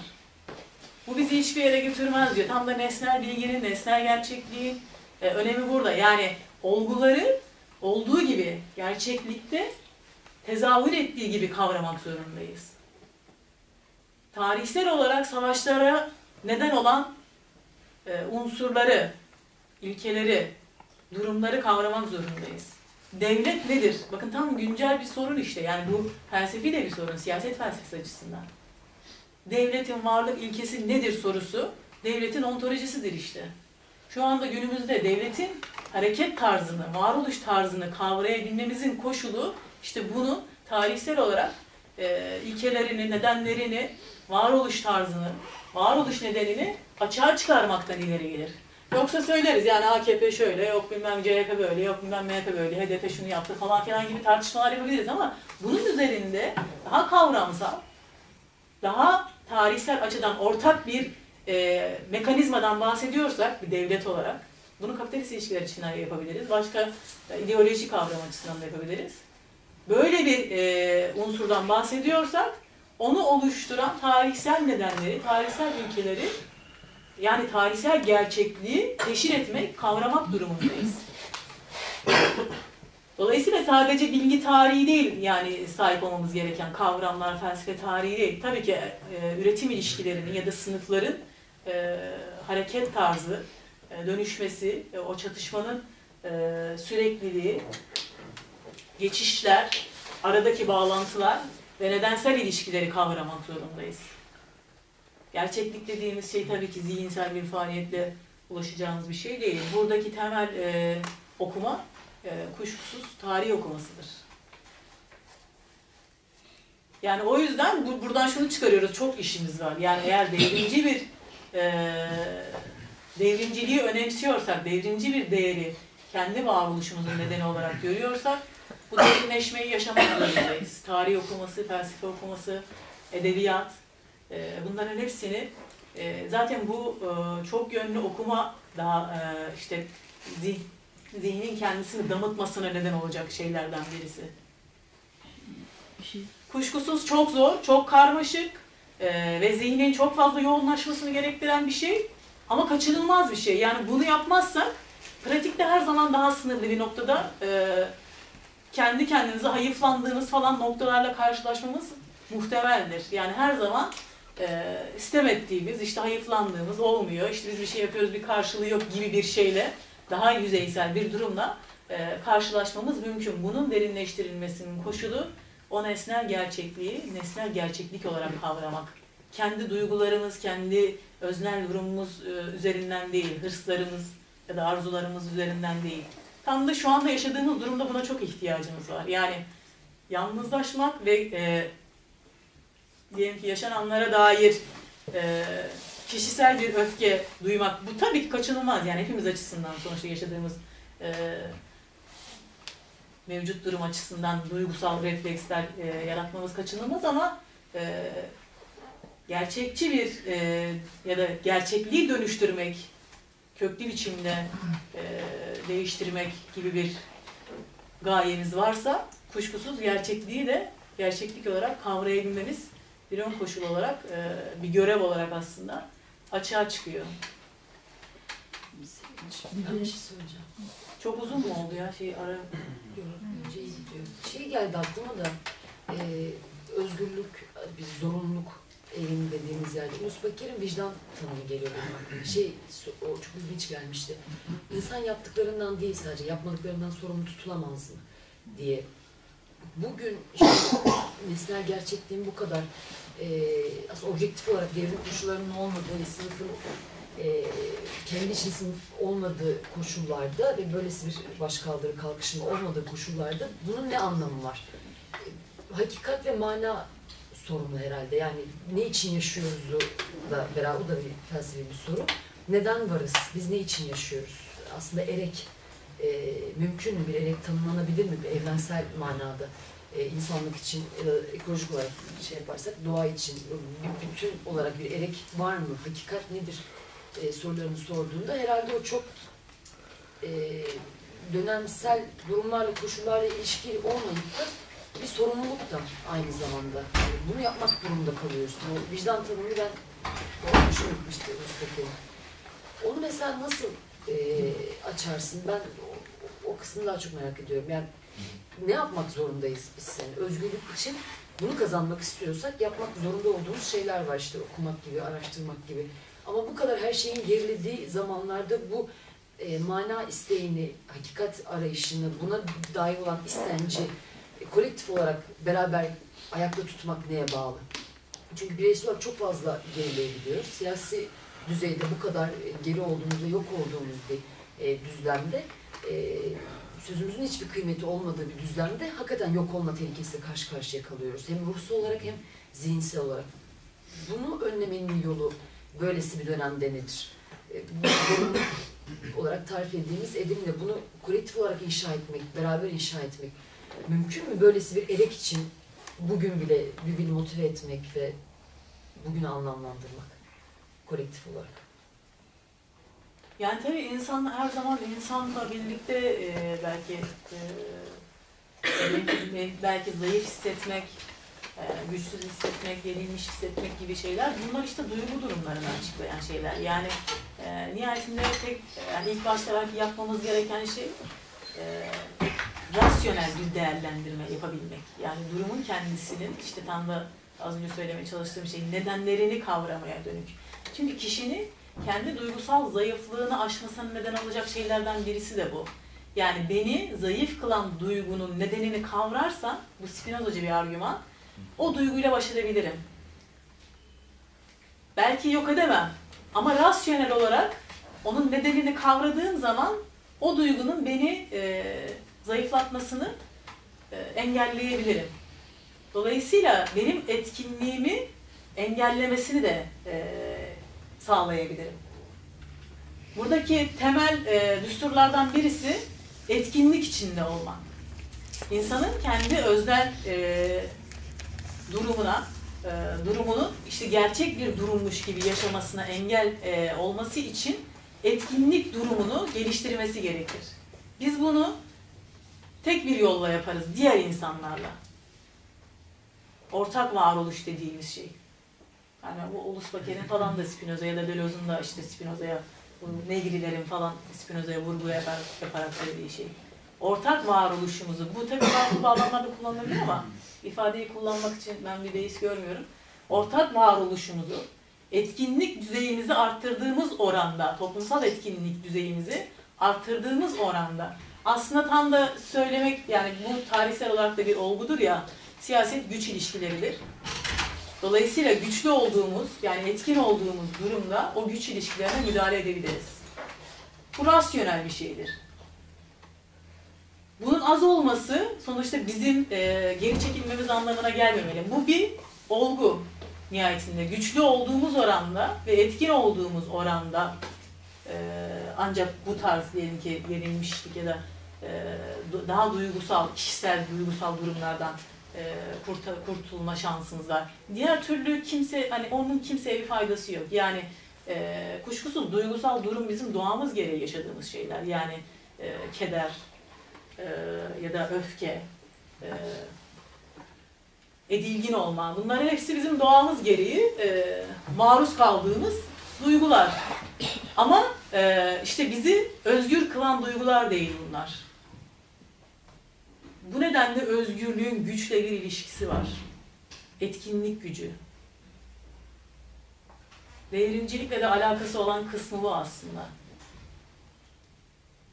Devrimci etkinlik gücünü artırıyorsa ve kendi etrafındaki ilişkileri, ilişki biçimlerini, ilişki sayısını e, ve etkinlik e, düzeyini, kendi etrafındaki ilişkilerin, ilişkilerdeki etkinlik düzeyini artırıyorsa bu bir devrimci sınanma yöntemi olarak düşünüldüğünde evet devrimci bir edim söz konusudur. Ama etra birbirimizi edilgin kılıyorsak, duygusal olarak daha zayıf kılıyorsak, bu çok özel ilişkilerde bile geçerli bir formül. Birbirimizi daha zayıf kılıyorsak, daha edilgin, daha pasif olduğumuzu hissettiriyorsak, bu özgür bir ilişki değildir. Madem devrimciliğin e, ya da devrimin özü e, özgürlükse bir değer olarak, biz ilkini düşünmek zorundayız. Tabii ki etkinlik gücümüzü, yani toplumsal etkinliği artıracak yönde e, çabalamak durumundayız. İşte bunun için zaten e, felsefeye de çok ihtiyacımız var. Bu pratik olarak yan yana olmakla alakalı bir şey değil. Yani evet fikri bir devinimin, fikri bir edilgi, e, etkinliğin içinde de e, olmak. Madem zihin ve bedenlerimiz bir bütün, o zaman bütün zihin ve bedenlerin bir bütünlüğünün etkinliğinden ancak devrimci bir e, duruma geçme şansımız var. Diğer türlüsü gerçekten patolojik bir şey. Yani bunu hepimiz yaşıyoruz şu anda. Özellikle son aylarda yaşadığımız e, şeyler. Yani bu birkaç gündür işte e, sürekli bir tehdit mesajları geliyor olması falan. Ama bakın bunlar ideolojik bir e, hamle. Yani devletin aslında hiçbir şeyi alanı boş bırakmıyor olması. Sizin de bahsettiğiniz gibi yani şimdi ilahiyatçıların felsefe bölümlerinin belki %70, %80'inin başında ilahiyatçılar var. Yani felsefenin ideolojik olarak ne kadar kullanışlı olduğunu gösteren bir şey bu. Felsefenin yapılmasını engelleyen bir şey bu. Ve bu devlet devlet tarafından yapılan bir şey. Dolayısıyla bizim yaşadığımız pasifizm, şu anda yaşadığımız dönemde bu ideolojik bir şey.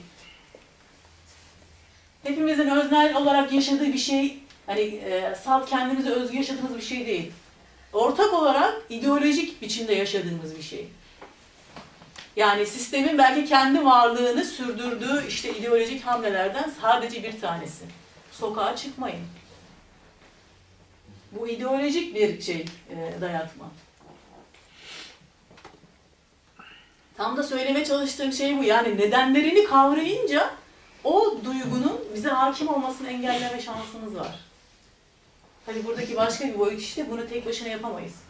Doğamız gereği tek başına, zoon politikon işte politik canlı olmamız nedeniyle kendi e, edilginliklerimizi ancak başka ilişkilerle aşabiliriz. Bunun başka bir yolu yok. İnsan doğası dediğimiz şey bu aslında. Yani özcü bir şey yok burada bakın. Kendi bütünsel varlığımızı kurabileceğimiz ilişki başkasıdır, başka bir şeydir, başka bir insandır. Başka yani türümüzden başka birisidir. Kendi nesnel varlığımızı tesis edeceğimiz ilişki de başkasıdır. Bakın Marx onu Alman ideolojisinde söyler. İnsan kendisi kendi varlığını karşısına alıp seyreden tek varlıktır. Dizi film gibi. kendi varlığını. Yaşadıklarını. İnsanın nesnel bir bilgiye sahip olması ya da nesnel bir varoluşa sahip olmasının koşulu kendisini seyretmesidir. Kendisini seyretmesi dediği şey nedir? Etkinlik içinde olması. Bir şey üretmesi. Yani bir nesne üretip onda kendi varoluşunu görmesi. O yüzden Marx'ta insanın özü emektir. Emek dediğimiz şey illa meta üreten bir şey olmasına gerek yok. Praksistir aynı zamanda. Yani birisiyle kurduğunuz dostluk ilişkisi bile aslında kendi nesnelliğinizi var edebileceğiniz, kendi nesnelliğinizi tesis edebileceğiniz bir ilişkidir. İnsan özü diye kastettiğimiz şey bunlardan ibaret. Yoksa hani östel bir e, şeyden, kavramdan, aşkın bir varlıktan falan bahsetmiyoruz. Bu etkinliğin kendisinin yani insanın e, varlığını sürdürürken ya da varoluşunu e, ortaya koyduğu etkinlikte nesnel bir dünya tesis ediyor olması zaten insan doğası kavramını bize e, tanımlayan şeylerden bir tanesi. bir ara verelim mi? Verelim mi bir ara? Senin için ne dersin? Olur benim açımdan sıkıntı yok. Sen hızlanmış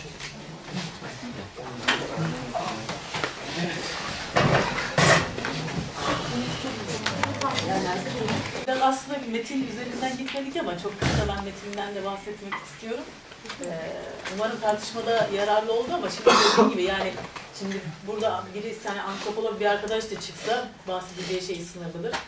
Ee, hani bileyim siyaset bilimciyle çıksa bahsedeceği şey sınırlıdır ama benim e, hani bu söyleşi açısından yapmak istediğim şey e, biraz fe- e, felsefe yapmak zorunda olduğunuz ve felsefenin aslında e, kimsenin bir uzmanlık alanı e, olmadığı felsefenin e, madem bizim e, ontolojik varoluşumuzla alakalı yani varlığımız da e, o bütünsel, bireysel e, ve doğadaki, toplumdaki bakın bir sürü varoluş tarzlarından bahsediyoruz. Hem toplumda var oluyoruz hem tarihsel bir süreç içinde var oluyoruz. Hem bireysel ilişkiler içinde var oluyoruz, var oluyoruz hem kendi kendimize bir varoluş tarzı içindeyiz. E, bunların bütününü kavrayabilecek bir kavrayışa sahip olmakla devrimci bir fikre sahip olmak arasında zorunlu bir bağlantı var. Yani çünkü kişinin devrimci bir e, etkinlik içinde olmasının nedenlerini tesis etmesi için bu bir zorunluluk. E, nihayetinde kişi nedenleri varsa bir şeye inanır, adanır ya da bağlanır. Eğer bu nedensellik ilişkisi yoksa o fikir çok kolay kaybedilebilir. O fikirden çok kolay vazgeçilebilir. Dolayısıyla bu fikri derinleşme önemli. Hem ideolojik açıdan hem politik açıdan e, hem de fikir, yani genel anlamda fikir e, bir fikri savunmak açısından önemli. E, diğer şey de bir öneri olarak kabul ederseniz felsefede ki bazı kavramların es geçilmemesi, aksine o kavramların e, politika e, yaparken, siyaset yaparken e, ve yaşadığımız şeyler üzerinde düşünürken e, yeniden tanımlanması ve e, aslında zihnin içine alınması yani onun dogmatik tarzda reddedilmesi değil. Bunlar işte tam da bahsettiğimiz şeyler yani nesnel bilgi, e, metafizik, ontoloji. E, mesela biz bazen soyutlama derken bile olumsuz anlamda kullanıyoruz. Yani soyutlama bizim zihnimizin bir varoluş tarzı. Niye hani bir bu soyut bir fikir olabilir. Bu bunun gerçek olmadığı anlamına gelmiyor. Sonuçta e, matematik tamamen soyut alanla e, ya da soyut e, bir şekilde soyut bir varoluş tarzıyla yaptığımız bir şey. Matematiğin olumsuz oluyor. Bu, bu mesela olumlu ve olumsuzluk, olumluluk ya da olumsuzluk atfedeceğiniz e, atfedeceğiniz şeyler olmamasına rağmen e, işte bu ön yargılar bizi bunu yapmaya itiyor. Bir devrimci e, bireyin yapmaması gereken en temel şeylerden birisi bu. Yani e, dogmatizm sadece idealizmde yok. Yani materyalist olup çok dogmatik de olabiliriz. Tehlikeli, tehlikeli olan kısmı budur. Yani e, Marx'ın eleştirel dediği şey bu anlamda önemli. Yani eleştirel biçimde e, yorumlama ya da ele, e, fikri sürekli bir eleştiriye tabi tutma e, önerisi bu anlamda önemli. E, o yüzden e, bir şekilde felsefeyle, sanatla, siyasetle bir bütünlük içinde e, zihnimizi e, zenginleştirmek, geliştirmek durumundayız. Diğer türlüsü e, bu ideolojik, politik e, ve maddi e, hegemonyanın altında eziliriz. Bireysel olarak ya da kişisel olarak. Bu bireysellik bile değil. Yani bu kişisel bir durum. Bireysellik çünkü özgürlükle ilişkili bir e, durum. Yani bir kişi bireysel varoluşunu e, sürdürüyorsa özgür olduğundan bahsederiz. Diğeri daha kişisel e, bir durumdur. Neyse bu biraz uzun tartışma da bireysellik sorunu da e, çünkü uzun uzadıya. E, Marx'ın söylediği şeylerden birisi neyse onu es geçmeyelim. E, diyor ki e, tarih bireyselleşmenin tarihidir diyor. Yani o, o çelişkili e, tarihsel süreç bir şekilde insanların özgürleşmesine doğru bir eğilim içindedir. Bakın yine bu eğilim kavramını e, kullanır. Bu eğilim e, bireyselleşmenin ortaya çıkacağı yani bireyselleşmenin edimselleşeceği bir noktaya doğru gider der. Burada bireyselleşme dediği e, diye ya da kastettiği şey özgürleşmedir. Özgür insan bireydir e, diye söyler. Birey dediğimiz şey işte az önce söylemeye çalıştığımız şey yani diğerleriyle birlikte nesnel varlığını gerçekleştiren. Kişisel bir varoluştan bahsetmiyoruz. Tekil bir durumdan bahsetmiyoruz. Aslında işte ortak yaşamı tesis eden ve bunu kendi yasasına göre yapan e, birey olarak bahsediyoruz. Tabii şeyde felsefede e, az önce bir arkadaşım bahsetti. Yani her zaman uçlara gitme e, riski var. Yani zihin bir şekilde çünkü bir çelişkili bir durum e, yaşamak aslında e, yaşadığımız durum durumda ya da koşullarda çok kaçınılmaz. Yani zihin e, sonuçta diyelim ki bilgiye ya da nesnel bilgiye ulaştıkça somut durumda onu gerçekleştirmediği ölçüde çelişik bir varlığa dönüşür. Bunu hepimiz e, yaşarız zaman zaman. Yani doğru bildiğimizi e, sürece aslında bu işte patolojik dediğimiz durumlardan bir tanesi. Yani çelişki aslında varlığın bir nevi en üst noktası işte şizofreni dediğimiz e, belki boyut. Dolayısıyla burada sağaltıcı etkisi olan şey politik etkinliktir. Yani kişi e, nesnel bilgiyi gerçekleştiremediği, nesnel bilgiyi e, gerçekleştirebileceği koşulları oluşturamadığı ya da ilişkileri oluşturamadığı sürece bu işte felsefenin patolojik riski bu taraftadır. Yani sürekli bir refleksiyon hasta eder. Yani bu, bunun da aslında refleksiyon dediğimiz şey bu anlamıyla bedenin ve zihnin birlikte bir refleksiyonu ve diğer insanlarla birlikte, türdeşimizle e, birlikte ya da doğayla birlikte bir refleksiyon. E, bu nedenle soyutlama dediğimiz şey e, kuşkusuz e, zaten zihnimizin yaptığı bir e, edik. Zihnin bir varoluş tarzı. Yani zihin doğası gereği soyutlar zaten. E, ama bunu işte e, idealist bir çizgiye varmasını engelleyecek olan şey politik etkinliktir. Tam da Marx'ın söylediği gibi madem nesnel varlığımızı diğer insanlarla e, ilişkimizde temin edebiliyoruz. O zaman işte bu şeyin e, soyut etkinliği e, gerçekçi bir anlamda ya da gerçekliği yeniden e, tesis edecek şekilde, devrimci bir şekilde e, ortaya çıkmasına neden olacak şey bir teviye bir politik etkinlik içinde olmaktır. Ve bir politik, yalnız kaldığımız zaman bile politik bir varlığı, varoluşu sürdürürüz. Bu da işte bizim tam da insan doğasına atfedeceğimiz e, şeylerden bir tanesi.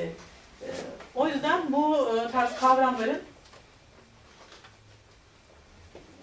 tam da aslında mülkiyet ilişkilerinde olduğu gibi nasıl ki zaten hep kapitalizmde ya da sınıflı ilişkilerde özel mülkiyetin olduğu e, toplumlarda e, sadece üretim araçlarına el konulmaz. Yani o şey vardır ya Marx'ın da söylediği e, egemenler egemen fikir, fikirlere de egemendir. Yani sadece üretim e, ilişkilerine, e, üretim araçlarına egemen değildir. Dolayısıyla bu şeyin devrimciliğin ya da siyasal bir dönüşümü salt bir e, mülkiyet ilişkisini dönüştürmekle ilişkili olmadığını, aynı zamanda tabii ki insanların fikirlerini e, ya da işte düşünce tarzlarını dönüştürmeye dönük bir süreç olduğunu e, gösteren şeylerden bir tanesi. O yüzden bütün tarihi kendimizin tarihi gibi sahiplenmek zorundayız. Nasıl ki mülkiyet araçları e, hepimizin ortak mirasıysa, ortak emeği ise, tüm insanlığın acı çekerek ürettiği, e, miras bıraktığı bir e, birikimse, e, bilgi tarihi de, bilgilerin de, bilimlerin de tarihi hepimizin ortak tarihi. Aslında işte komünizmin ya da devrimin temel şeylerinden birisi bu. Bu ortak mülkiyeti yeniden e, ele almak. Yani bunun ortak bir miras, ortak bir zenginlik olduğunu e, savunmak ve bunu gerçekleştirme mücadelesi ya da çabası e, olarak devrim fikri de önemli. Yoksa basit bir dönüşüm değil. Ha, üretim araçlarında ezilenler el koydu, tamam devlet de devlete de el koydu falan gibi bir şey değil. Bu bir değerler çatışması aynı zamanda. Yeni değerler, işte bilimin bir ortak değer halinde savunulmasını e, sağlayabileceğimiz yeni bir e, varoluş tarzını savunmak anlamına geliyor. Burada e, kısaca metinden bahsedelim. E, okumuşsunuzdur belki. Marx'ın zaten e, bahsedilen Ulus Baker'in de bu biraz e, felsefi de bir metin ama hani ağır gelmiş olabilir kim arkadaşlara. Ama önemli, Marx'ın felsefesini, kavrayışını anlamak açısından e, önemli.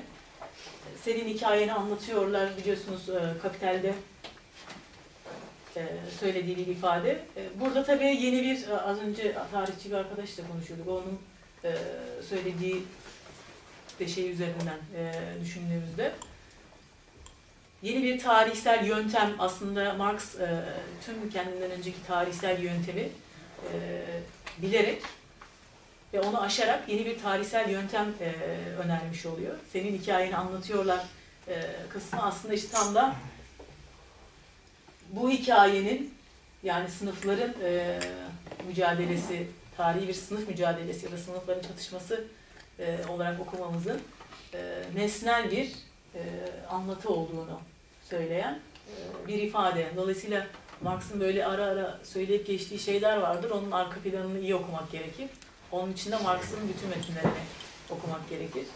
E, bu da çok temel bir e, sorumluluk olarak hani devrimci açısından, Marksist düşünce Venezian açısından e, temel bir sorumluluk olarak görülebilir. Dolayısıyla burada Marx'ın birinci sözü aslında nesnel gerçekliği yeniden, yeni bir tarzda, e, yeni bir yöntemle e, okumak açısından bir öneridir. E, çok şey yani üzerine değinecek konu var ama çok fazla e, zaman olmadığı için sizin ya da e, vurguladığınız bir şey, vurgulamak istediğiniz bir şey varsa ilk sözü için. E, tabii şeyde yani bu e, nesnel e, gerçekliğin Marx'ın e, hikaye dediği şeyin, tarihsel e, senin hikayeni anlatıyorlar dediği e, nesnel gerçekliğin e, önerdiği bir şey var. Tarihin yasalarını aslında Marx e, bu ifade aracılığıyla ortaya koymaya çalışıyor. Tarihin yasaları dediği şey de aslında tam da işte daha önce e, değindiğimiz şey tarihin e, eğilimi, e, işte sınıfların e, mücadelesindeki eğilimi keşfetme, yasaları ya da ilkeleri e, eğilimin yasası diyor. Bakın bu çok e, Marx'ta bence üzerine durulmaya muhtaç bir e, kavram. Eğilimin yasası e, dediği şeyi. Dolayısıyla ilk e, şeyi, ifadeyi Ulus Baker'de bu anlamda e, önemli oluyor. Ve zaten şeyi söylüyor, Marx bu ifadeyle tarihsel okumada bir kırılmaya neden oluyor. Tarihçilerin de bu çok sık yaptığı bir şeydi. Yani tarihte belli yöntemler vardır ve Marx bu yöntemlerin dışında yeni bir yöntem getiriyor ve aslında gene aynı şeyi yapmaya çalışıyor Marx'ta. Nesnel gerçekliği nasıl kavrarım sorusundan hareketle. Ancak tarihi işte bu sınıf çatışmaları tarihi olarak kavradığın zaman buradaki nesnel e, durumu, e, nesnel değerlendirme yapma şansına sahip olabilirim ve nesnel e, tarihsel yasaları keşfetme şansına e, sahip olabilirim diyerek bu ifadeyi kullanıyor. Bu çok e, dediğim gibi üzerine durulması gereken e, bir şey. Sizin ilginizi çeken kısımlar varsa onu da söyleyebilirsiniz. Burada e, dille ilgili bir e, eleştiri var. Bu kısımda. E, bu aslında çok güncel de bir e, sorun. Felsefe açısından da e, bir sorun. E, kısaca şunu söyleyebiliriz. Yani şeyin felsefenin ortaya çıktığı e, zamanlarda biliyorsunuz felsefe o zaman bilimden de çok ayrı değil. E, sanattan da çok ayrı değil. E, felsefenin bütünsel olarak e, araştırmaların ya da e, tartışmanın, felsefi tartışmaların yürütüldüğü dönemlerde e, varlık sorunu temel bir sorundu. Daha sonra insan sorunu ya da düşünce sorunu e, ayrılmaya başladı ve şu anda günümüzde e, felsefede dil sorunu, dil felsefesi hakimdir. Analitik felsefe dediğimiz. Bu çok rastlantısal bir şey değil tabii. Aslında doğrudan doğruya üretim ilişkileriyle alakalı bir şey. E, ama bu şeyin daralmanın felsefeye e, olumsuz etkileri çok fazla. Yani en e, kapsamlı kavramı ele alan felsefe artık sadece in, yine insan merkezi diyebileceğimiz bir şekilde dil sorunuyla yani analitik felsefe dediğimiz yani bir şeyi e, dildeki anlamı ya da semboller aracılığıyla araştırma kaba ifadeyle e, söylersek. Dolayısıyla gerçeklikten e, ya da nesnel bilgiden bir anlamda vazgeçmiş bir felsefe, ontolojik anlamda. Dolayısıyla nesnellik dilde var olan bir e, kategori olarak e, işleniyor. Bu çok uzun bir tartışma ama çok önemli. Yani e, o zaman biz nesnelliği ya da hakikati tamamen dilde kurarak yani sembollerle kurarak tesis ettiğimizi ileri sürmeye başlarız. Felsefeyi bu sınırda görürsek. Oysa e, Marx'ın bu ifadesi Ulus Baker'in de yorumuyla e, hakikati anlamak ya da anlatmak değil, hakikati keşfetmek ve yeniden yaratmak açısından Marx'ın bu ifadesinin önemli olduğunu söylüyor. Çünkü Marx burada hikayeyi evrenselleştiriyor. Senin hikayeni, anlatılan senin hikayen dediği hikaye hepimizin hikayesi oluyor. Bu anlamıyla nesnel bir anlatıdan e, bahsediyoruz. Baker'in de e, vurgu yaptığı şeylerden birisi e, işte bir e, tarihsel bir yöntem açısından kırılmaya neden oluyor olması bu şeyin, ifadenin. İkincisi de e, tarihin ya da gerçekliğin söylemsel düzeyde değil de aslında e, işte gerçeklik düzeyinde e, yeniden tartışılması ve ele alınmasının gerektiğini söylüyor. Burada Marx'ın yaptığı şey hakikati sadece söylemek değerli değildir. Hakikati keşfetmek ve yeniden tesis etmek de e, aynı oranda değerlidir. Şimdi ikinci söz arkadaşlar, sizin bir, birinci sözle ilgili söyleyeceğiniz bir şey yoksa, e, ikinci söz benim bildiğim Feuerbach'ın sözü. E, ama Ulus Baker bunu, e, yani Feuerbach'ın sözü ama Marx bunu bir şekilde Feuerbach eleştirisinde kullanıyor. Feuerbach biliyorsunuz e, Marx'ın etkilendiği bir filozof, e, önemli de bir filozof yani o şey e, materyalist felsefedeki kırılmaya öncülük eden isimlerden bir tanesi. E, bir kulübede e, farklı düşünülür, bir sarayda farklı düşünülür e, ifadesi aslında Marx'ın işte düşünce mi, e, madde mi bilinci belirler, bilinci, bilinç mi maddeyi belirler e, düsturunun bir başka ifadesi olarak e, düşünülebilir.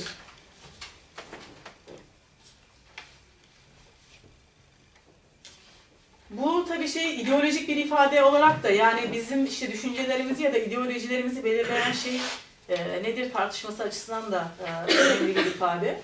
E, kulübede farklı e, aslında bu işte e, siyaset açısından da e, belki ilk e, saatte konuştuğumuz şeyler yani işte diyoruz ya bizim bu e, edilgin hissettiğimiz ya da bizi edilginleştiren duyguları nasıl aşabiliriz sorusu aslında etkinlik durumumuzu değiştirmemizle ancak mümkün olabileceğini gösteren şeylerden birisi bu. Yani e, işte varlık e, tarzımız, düşünce tarzımızı da belirler. Burada e, belki kim arkadaşları rahatsız edebilir ama bedenin bir önceliğinden bahsetmek söz konusu olabilir. Yani e, ontolojik açıdan işte bedenin varoluş tarzı, düşüncemizin varoluş tarzını belirler. Beden nasıl var oluyorsa, yani beden devrimci bir etkinlik içinde var oluyorsa devrimci bir fikir pekişebilir. Bu nedenle fikirle bedenin bir bütünlüğünden bahsetmek zorundayız. Yani ne salt zihinsel etkinlik, ne salt pratikçilik. İkisini bütünleştirdiğimiz oranda gerçek devrimci bir faaliyetin e, tesisinde yer alma şansımız var. Bu doğamız gereği böyle. Yani madem iki e, ki biz bunu böyle atfediyoruz. Bu aslında iki diye atfettiğimiz şey bizim ayırdığımız. Tam da Descartes'in aslında modern anlamda öncülük ettiği şey. Zihin ve beden ya da işte ruh ve beden. Kant'ın akıl ve beden e, diye ayırdığı şey aslında ontolojik açıdan ayrılacak şeyler değil. Ama felsefenin işte e, anlamak için yapmak zorunda kaldığı şeylerden birisi de bu. Bunu düşünürken biz de yaparız değil mi? Genelde gündelik sohbetlerimizde de. Yani bedenimiz mi ruhumuza hükmediyor, ruhumuz mu bedenimize? Aslında teori mi, pratik mi tartışmasının e, bir uzantısı olarak düşünülebilir. Hocam, Spinoza Descartes'i nasıl eleştiriyor bu noktada? Şimdi Descartes'i kendi sisteminde çökertemeyeceğimizi ben duydum. Yani hakikaten bir çıkışta bulamıyorum. Her şeyi öyle güzel Tanrı'ya dayandırıyor ki bilmiyorum belki yaşadığı dönemde Galileo'ya asıldığı için de olabilir. Ama e, Spinoza ne diyor peki Descartes'i çürütürken? Yani, yani Descartes ikisinin birbirinden bağımsız sözler olduğunu söylüyor. Beden bir tözdür. Töz bir şeyi özü olarak düşünebilirsiniz. Aristoteles'in tanımı bir şeyi o şey yapan şey. İşte felsefi terim bu yani felsefi tanım bu. Ee, bir şeyin nedeni olan yani bir şey e, tözünden bağımsız var olamaz. Töz onun e, varlığının e, ilkesi olarak söyleyebiliriz kabaca. Dolayısıyla şeyin Descartes ruhla bedenin birbirinden bağımsız sözler olduğunu söylüyor. Spinoza bu ayrımı eleştiriyor. Hatta epifiz bezi diye bir bez hmm. türetiyor Descartes. Bu bez birbirine bağlar diyor ruhla bedeni. O noktayı ee, tekrar. Ya tabii bu çok bilimsel felsefi ya da bilimsel ya da felsefi bir açıklama değil yani. Bir bezle sen onları işte birbirine bağlarsın. Çok, çok da vurmamak lazım. Spinoza da tabii buna gülüyor ya.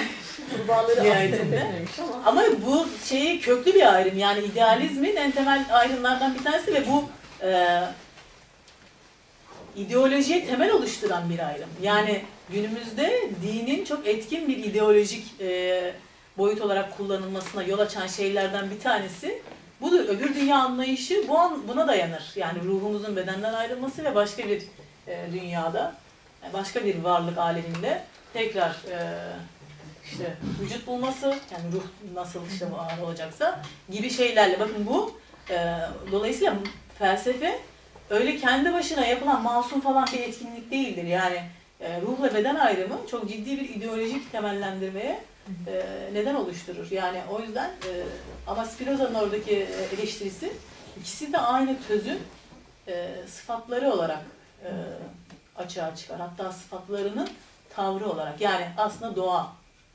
İkisi de doğanın kendini ifade ediş biçimidirler. Bilincimizde, bedenimizde. Evet. İkisi tek bir töz. Birlik içindedir der. Yani dolay- dolayısıyla beden öldüğünde ruh da yok olur ya da öl- ölür der. Yani onda bu ayrım e, şeyde işte idealizmin e, ve batı felsefesinin e, genelinde hep ruhu, aklı kurtarmaya dönük bir çaba vardır. Buradaki çaba ölümsüzlükle alakalı bir şey. Yani insan e, bir teviye ölümsüzlüğü arayan bir varlık olarak e, tezahür ediyor. Felsefede de, bakın bu mitolojide de vardır, değil mi? Mitolojik e, şeylerde de, e, anlatılarda da vardır. Bu bile bir felsefi tartışma. Yani insan neden ölümsüz olmak ister? Bunun da devrimcilikle bir alakası var. Çünkü e, nihayetinde işte eğer biz bir canlılık tarihi ya da doğanın parçası, sonsuz bir varlığın parçası olduğumuz mu, olduğumuzu kavradığımız zaman ölüm fikri çok üzerine düşünmemiz gereken bir fikir olarak e, bizi meşgul etmez. Ama şöyle diyorlar onda da insan e, sonsuzluğu nereden bilebilir ki sonsuzluk gibi bir kavram insanın içinde var. Yani hani biz deneyimleyemediğimiz şeyleri bilemiyoruz gibi düşünüyorlar. Yani bunu eleştirenler benim e, hatırladığım kadarıyla. Dolayısıyla sonsuzluk algısı bizim içerimizde hani doğuştan var olarak getirdiğimiz bir şey. A priori dediğimiz felsefeciler var mı?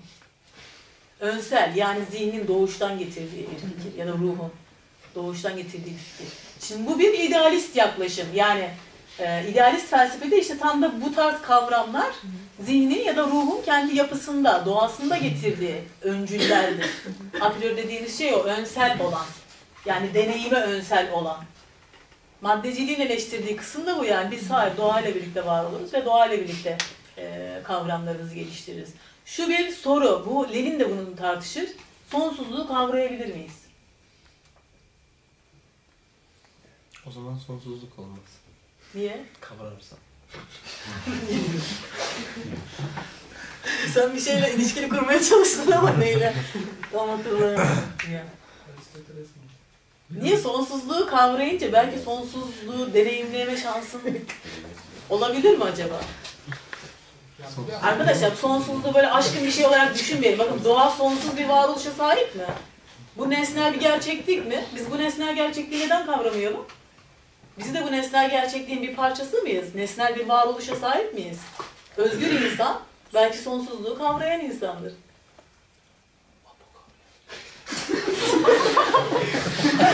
Sataşma var. Sataşma var. Öcalan, Öcalan kavrayabilmiş mi? Kavrayabilirmiş. Öcalan kavrayabilirmiş. Bir de gelen şıktan Ali sen bir şey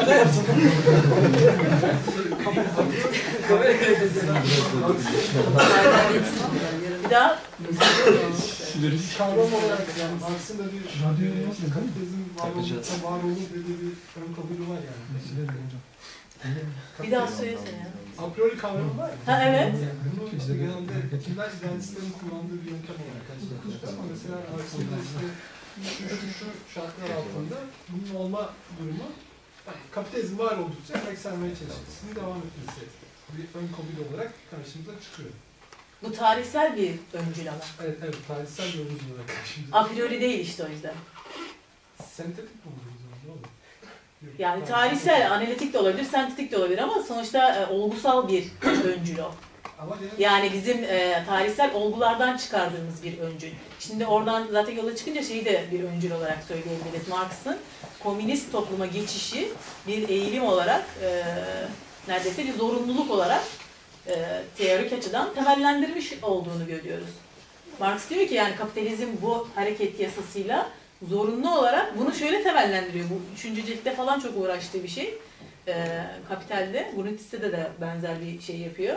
Yani üretim ilişkilerinin belli bir e, düzeye, işte büyük ölçekli üretim falan diyor ya, belli bir düzeye gel- geliyor olması e, neyse o bir teknik bir şey de bu artı emekle işte zorunlu emek, gerekli emek arasında bir ayrım yapıyor. Bilimsel olarak şunu söylüyor kaba anlamda.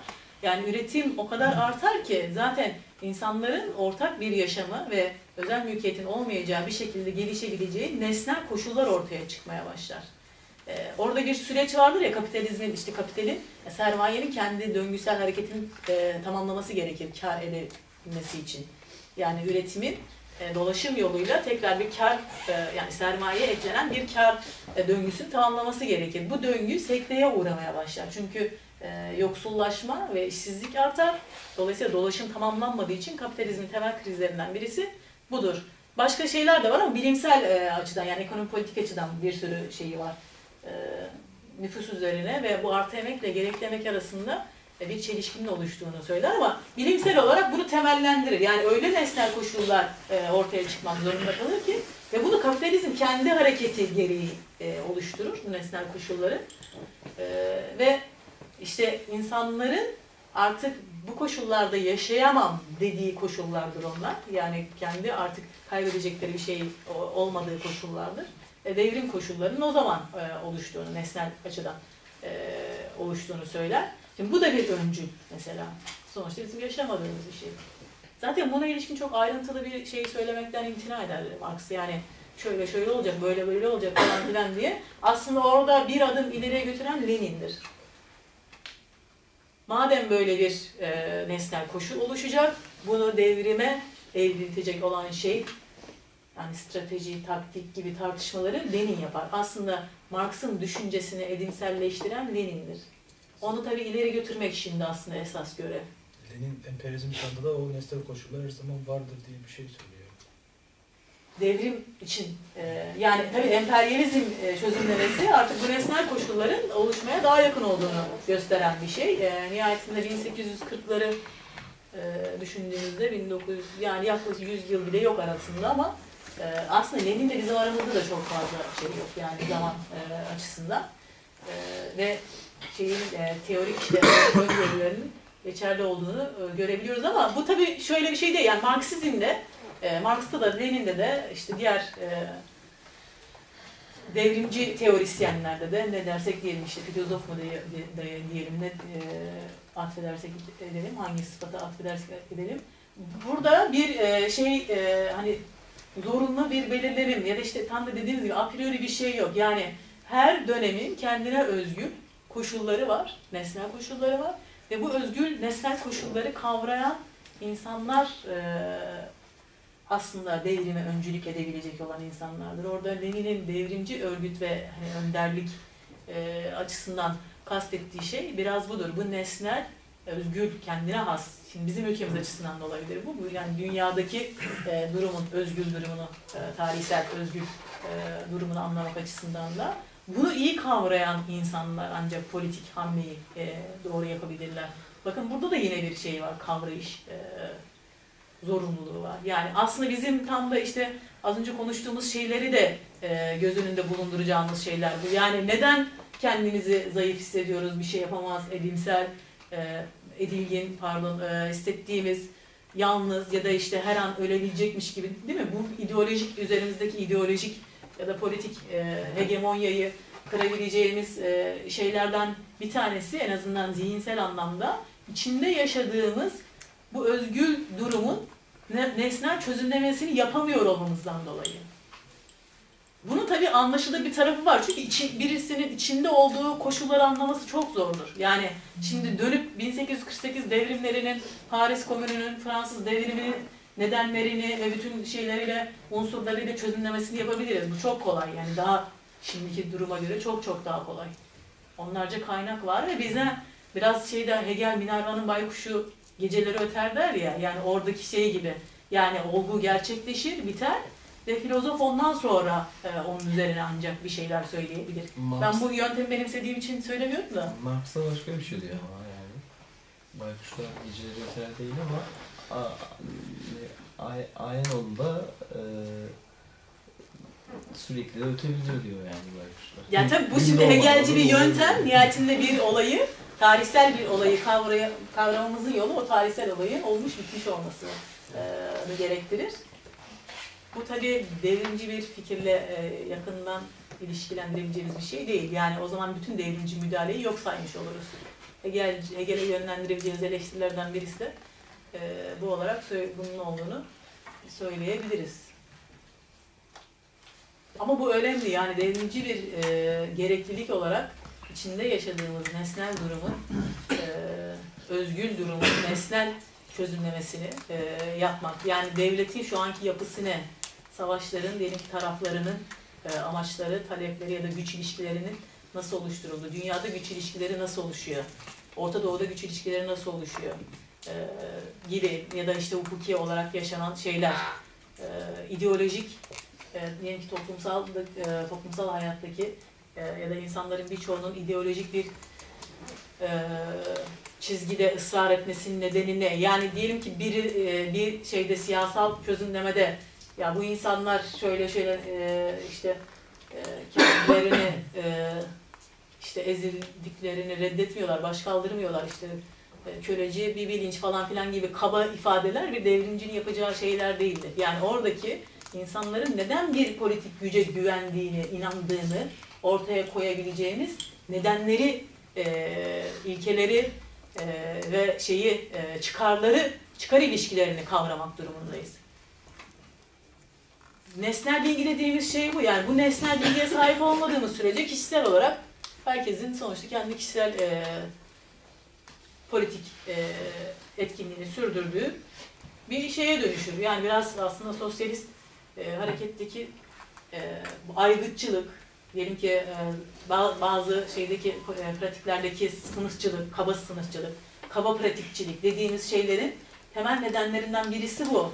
Yani o bütünsel olan e, nedenleri görememek ve ilişkileri, bağıntıları, o unsurların birbiriyle nasıl organik bir bağıntı içinde olduğunu, devletin sermaye ile, sermayenin diyelim ki işte polis gücüyle, polis gücünün hukukla bağlantısı nedir? Ya da işte milliyetçi unsurların ya da işte e, her ne kadar ulusalcı atfedilse bile diyelim ki bir mücadelenin, toplumsal bir hareketin ya da bir halk hareketinin e, ortaya çıkaran koşulları, ne durumda olduğu, neden e, diyelim ki ya, yaptığı eylem tarzlarının nedenleri, bakın bu bizim dünya, bizim yaşadığımız dünya açısından, açısından çok önemli. Yani bunları kavrayamadığımız sürece sürekli edilgin bir durumda hissederiz kendimizi. Ya hayat geçiyor, gelip gidiyor, ben de bir şey devrimcilik ama her şey yani bana karşı, her şey bana- benim sonuçta e, dezavantajımda. Ben de bir şey, devrimci birisi böyle düşünmez. Yani devrimci birisi bunun nedenlerini kavramak ve bunun nedenlerine müdahale etme çabası içinde e, olmakla mesuldür. Bunu ki zaten kendisi iç zorunluluk ister. Zorunluluk dediğimiz şey bu. Yani devrimi bir zorunluluk olarak kavramak dediğimiz şey bu. Diğer türlüsü kadercilik yani. Hani nesnel koşullar dediğimiz şey nihayetinde bizim dışımızda gerçekleşen şeyler değil. Biz de bu nesnelliği bekliyoruz.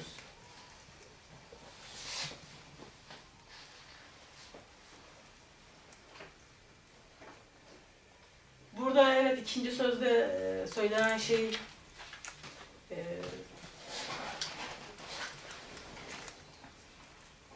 biraz şey diye e, göndermede yapmış Ulus Baker görevlilik e, kuramında bir formülü olarak okunabilir e, diyor bu. E, Bir kulübede bir saraydakinden farklı düşünülür diyor. Ama dediğim gibi bu esasında Feuerbach'ın bir ifadesi. Feuerbach uzun süre felsefe üzerine yazarken e, bir süre sonra kulübeye çekiliyor. Kulübe gibi bir yani hayat sürdürüyor tek başına. E, ve fikirleri e, dönüşmeye başlıyor. Yani çok materyalist bir düşünceye sahipken e, bir anda insan özü tartışmasına e, zihni evriliyor ve orada insan özü tartışmasında din sorununa bağlıyor. E, insan e, özünde bir dinsel e, unsur keşfetmeye çalışıyor Feuerbach, Marx'ın etkilendiği birisi. Marx e, uzun bir süre ondan övgüyle bahsederken bu değişimi fark ediyor. Ve bu ifadeyi aslında bir anlamda ona karşı kullanıyor. Yani kulübeye girdiğin için böyle düşünüyorsun diyor. Yani önceden bir materyalistin, bir maddeciydin. E, ve o döneme ilişkin gerçekten o dönem e, açısından düşündüğümüzde çok radikal fikirleri olan bir e, filozof önemlidir e, Feuerbach. Marx'ın da hani Hegel'le birlikte e, etkilendiği isimlerden bir tanesi. Üçüncü söz aslında dinle ilgili ama bu biraz başta da bahsettiğimiz anlamda değer sorunuyla da anlam sorunuyla da alakalı olarak e, düşünebiliriz. Yani dinin aslında tüm insan insanın manevi dünyasını, e, gerçek manevi dünyasının yerine e, ikame edilmesi aslında dinin bu e, yeri e, bizim şeyden bahsettik ya insan değer veren, anlam veren bir varlıktır diye.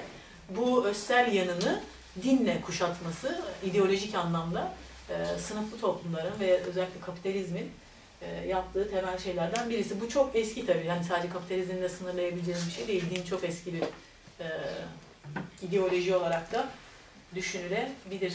Marksizm'de bu da din o zaman diye eleştirenler olmuş. Oradan anladığım kadarıyla. Yanlış mı anlamışım? Nasıl? Marksizme yapılan eleştirilerden biri ve o zaman sen de kendi dinini getiriyorsun gibi bir son paragraflarda böyle bir şeyler var. Ateist dinlerler deniyor değil mi? Sanki ben mi yanlış anladım? Hani o zaman Marksizm de bir din gibi gelen eleştiriler arasında böyle bir şey varmış. İşçi sınıfı bir Yani tabii sonuçta şey Marksist e, çizginin içinde çok kaba materyalist düşünceler var. Yani e, dolayısıyla bunların kendisi evet bir din işlevi görüyor olduğunu söyleyelim. Marx'ın kendisi kesinlikle böyle bir şeye sahip değil. Yani Marx'ın e, tabii bunu biz Marx'ı sevdiğimiz için falan söylemiyoruz. Bakın duyguları karıştırmıyoruz yani. Nesnel açıdan baktığımızda Marx'ın eserlerinden bunu çıkarıyoruz.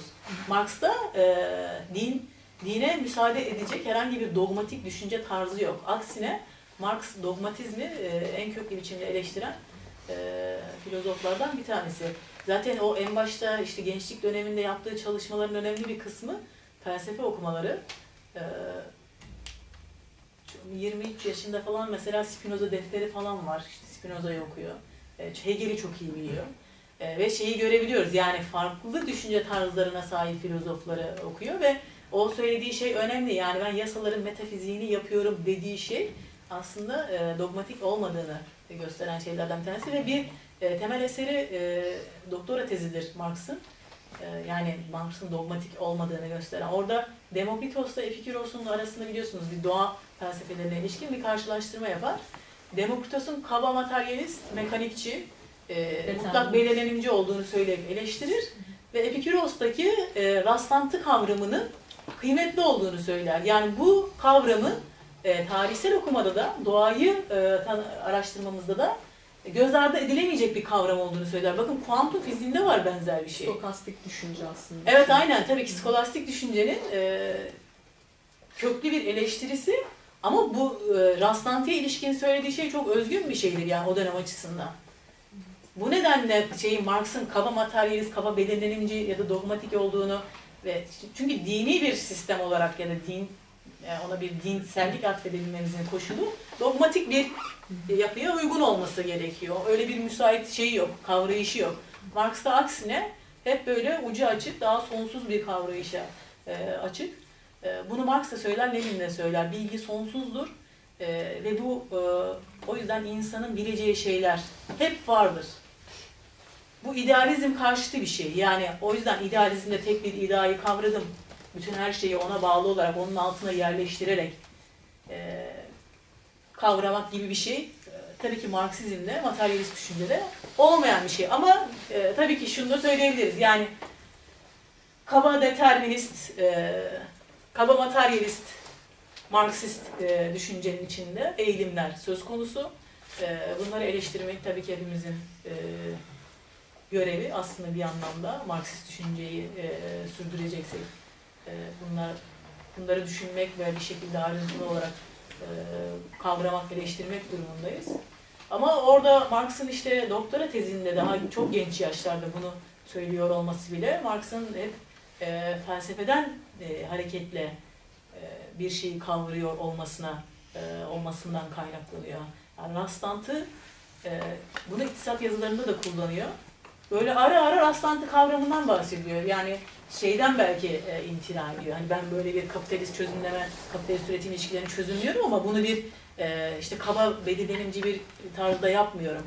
Bakın şeyi arada böyle parantez içinde söylüyor. Rastlantıyı burada göz ardı ediyorum diyor. Diyelim ki kapitalizm işte şöyle şöyle şöyle bir eğilim içindedir diyor. Arada hemen onu bir yere şey yapıyor, yerleştiriyor. Buradaki rastlantıyı göz ardı ediyorum diyor. Yani dolayısıyla tarih mutlak bir şey çizgisel e, süreçte e, tezahür etmiyor. Bu şeyi Marx'ın felsefesinin temel e, eleştirel noktalarından da bir tanesidir.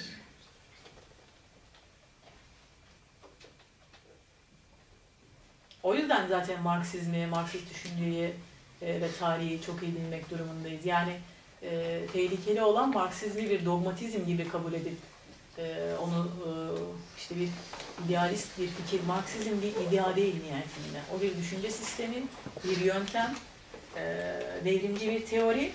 E, Lenin dediğimiz gibi onu bir adım ileri götürüyor. Bunu Lukács da söylüyor. E, Marx'ın felsefesini Lenin bir adım ileri götürdü diyor. Ondan daha sonra bir e, çok fazla ileri götüren olmadı diyor. Aslında ondan sonra bir sürü Marksist var. E, ama Marksizmin e, felsefi olarak derinleştirilmesi ya da stratejik olarak derinleştirmesine neden olan Lenin'dir diyor. Bakın bu da bir görev. Yani o aslında sonuçta diyelim ki bu böyle bir şey varsa, geçiş varsa bu geçişi bir adım ileri götürmek, güncel biçimde Marksizmi derinleştirmek aslında devrimci e, görevlerden, devrimci sorumluluklardan bir tanesidir. Yani devrimci aslında varlığını bu ilkeye, bu eleştiriye yaslar. Bu düşünce biçimi, bu sistem, e, Marksist düşünce sistemini güncellemek ve nesnel duruma uygun biçimde yorumlamak, eleştirmek, ileri götürmek, derinleştirmek. Çünkü koşullar değişti. Yani artık elimizde daha fazla bilimsel şey var, argüman var. Maddeye ilişkin daha fazla şey biliyoruz yaklaşık hani 200 yıla yakın bir e, süre önce ya da Lenin'i düşündüğümüzde 100 yıl öncesine göre e, yaklaşık olarak çok daha şey biliyoruz. Dolayısıyla aslında bir anlamda çok daha şanslıyız. Marx'ın, Lenin'in ve o literatürün, felsefenin, e, siyaset e, tarihinin bize çok bıraktığı ciddi bir birikim var. Bundan yararlanmak zorundayız. Bu bir şans yani Marx'ın yaşadığı dönemde yaşadığımızı düşünelim. Elimizde hiçbir şey yoktu belki ya da çok az şey vardı şimdiki koşullara göre. Dolayısıyla bunu değerlendirmek, güncellemek ve yeniden tesis etmek durumundayız. Marksizmi Marksizm olduğu ya da Marx'ı Marx gibi o sınırlarda kabul etmek Marksist e, çizgiye, Marksist yönteme aykırıdır zaten.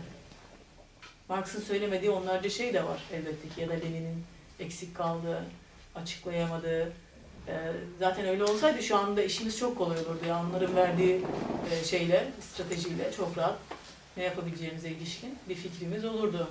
Günümüzde yaşadığımız bu belirsizlik, bu her şeyin görecemiş gibi e, hissetmemiz, her şeyin e, bizim dışımızda gerçekleşiyormuş gibi hissetmemizin nedenlerinden birisi teorik zayıflıktır. Devrimci hareketle devrimci teori hep birlikte gider. Hiçbir zaman birisi önde değildir. Lenin'in söylediği şey e, ne yapmalı da söylüyordu ya devrimci teori olmadan devrimci hareket olmalı. Ve o dönem açısından şunu söyler, bunu ne kadar söylesek azdır der. Bu nedenle e, devrimciliğin temel e, düsturlarından birisi tabii ki felsefe, tarih, bilim, siyaset bilimi e, okumaktan geçer. Öğrenmekten, deneyimlemekten, sürekli bir donanımla ve sürekli bir e, çabayla, bunu bir varoluş tarzı haline getirerek.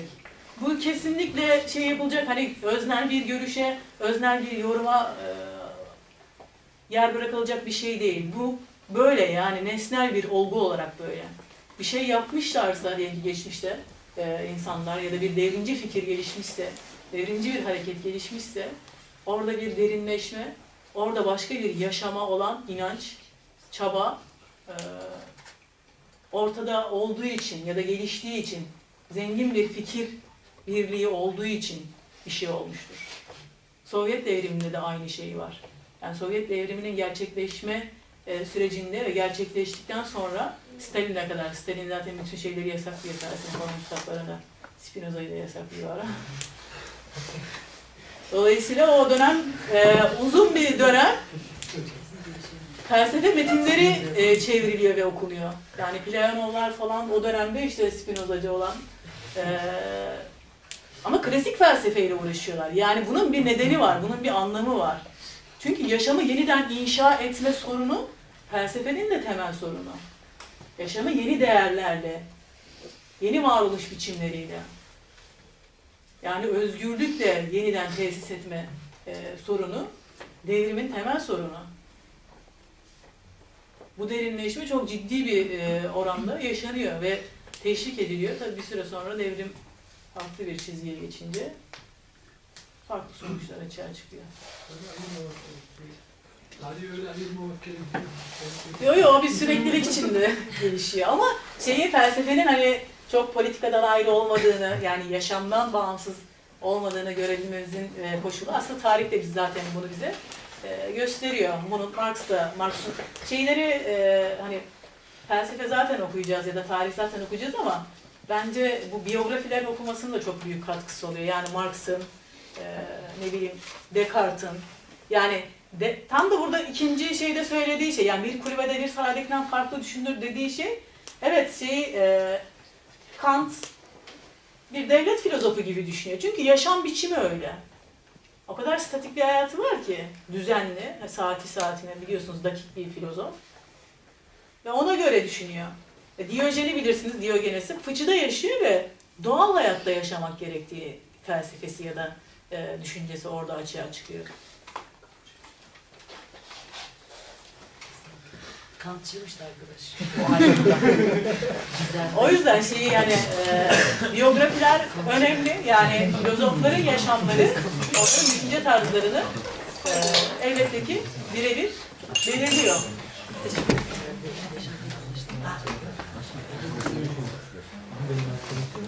Bir şey söyle. Hani şey dediniz, bir saraydaki, kuruldaki farklı düşünür diye. Aslında çoğu zaman aynı düşünüyor. Çünkü Marx sanırım Alman ideolojisinde diyor, maddi üretim araçlarına sahip olan sınıf aynı zamanda zihinsel üretim araçlarına da sahiptir. Yani kendi ideolojisini egemen sınıf evrensel gerçekmiş, gerçeklikmiş gibi gösterir. Yani bir fabrikadaki bir patronla işçinin çıkarı aynı değildir. Ama mesela eee askerde şehit olan olduğu için yani baba e, vatan sağ olsun diyor. Aslında ya sermaye diktatörlüğü sağ olsun diyor. Yani tabii orada işte tam söylemeye çalıştığımız şey o. Egemen sınıf, e, egemen fikirlere de egemendir dediğimiz şey. Sınıfa baskı uygulaması yani devlet bu zaten. Devletin evet bir tanım olarak bunu kullanabiliriz ama fikir hani fikrin nasıl, düşüncenin nasıl biçimlendiğine ilişkin e, baktığımızda e, tabii ki bir bu- burjuva sınıfına mensup birisi bir burjuva e, fikriyle, burjuva kültürüyle e, düşünür. E, bir işçi ya da bir işsiz kendi e, sınıfının bilincine e, sahiptir, düşünme tarzına sahiptir. Burada aynı şey şey. dediğimiz şey çok pardon ya unutmadan ee, aynı şey dediğimiz şey Alman ideolojisinde ya da 44 el yazmalarında yabancılaşma kuramında benzer bir şey söylüyor. Yani e, ama işte şeyi söylerken sınıfın, işçi sınıfının ya da ezilen sınıfın e, yaşadığı yabancılaşmayı ezenler de yaşar diyor. Ve bu yabancılaşmanın ortaya ortadan kaldırılabileceği işte öznesi ezilenlerdir, işçi sınıfıdır e, diyor. Burada belki benzerlik ikisi de yabancılaşmış bir bilinç içinde e, deliniyor ya da bir yabancılaşmış bir yaşam tarzını sürdürüyor.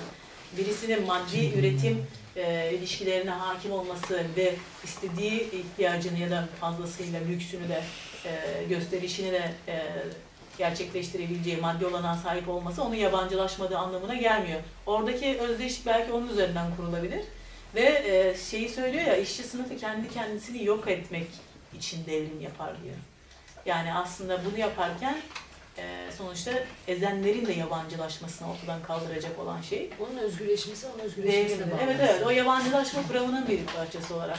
O anlamda bir şey yakında kurulabilir ama e, bilinç anlamında sınıf bilinci dediğimiz şey, sınıfsal düşünce tarzı dediğimiz şey, evet varoluş tarzlarımızın belirlediği bir şey. O yüzden bir kulübede e, fark. Burada şey Ulus Baker'in de yaptığı bir şey var ya devlet filozofları diyor. Şey Batı felsefesinin birçok filozofu. Gerçekten öyledir. Hegel öyledir, Kant öyledir, Descartes öyledir. Devlete hizmet için onları yazdığı yazdı, yazılarda, biyografilerde falan mektuplarında da çok geçer. Hürmetle böyle şey hani o dönemdeki yöneticilere önünüz, önünüzde eğiliyoruz falan filan gibi ifadeler vardır. Kulunuz, köpeğiniz gibi. Bunlar doğrudan doğruya kullandıkları ifadelerdir. Dolayısıyla bir devletin e, devlete tabi olduğunu düşünen ve devletin e, belki ideolojik etkisini arttırabilecek bir felsefi sistem geliştirmek başka bir şey. Marx'ın yaptığı biçimde devletin insan doğasına uygun olmadığını ve bir tarihsel bir varlığı olduğunu ve tamamen sınıfsal ilişkileri düzenleyen bir mekanizma olduğunu söyleyerek yaptığınız felsefe bambaşka bir felsefe olur. Felsefelerin de bu anlamda felsefe ideoloji değil ama ideoloji belirleyen unsurlar da sonuçta felsefeden e, edinilmiştir tarihsel olarak.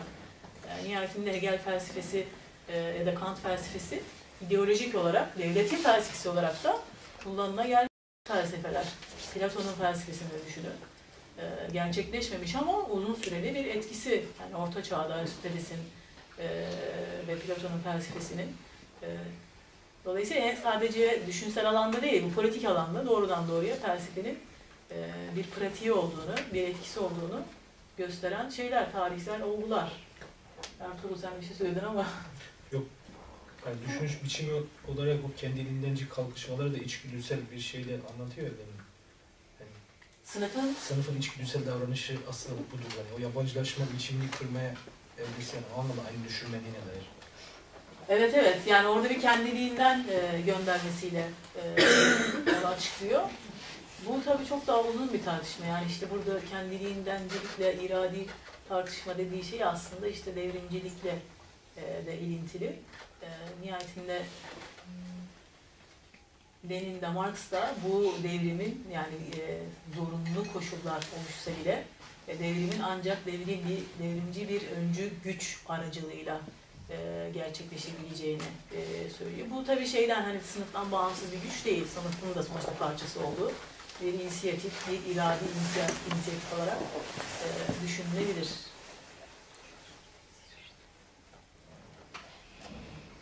Var mı arkadaşlar şey?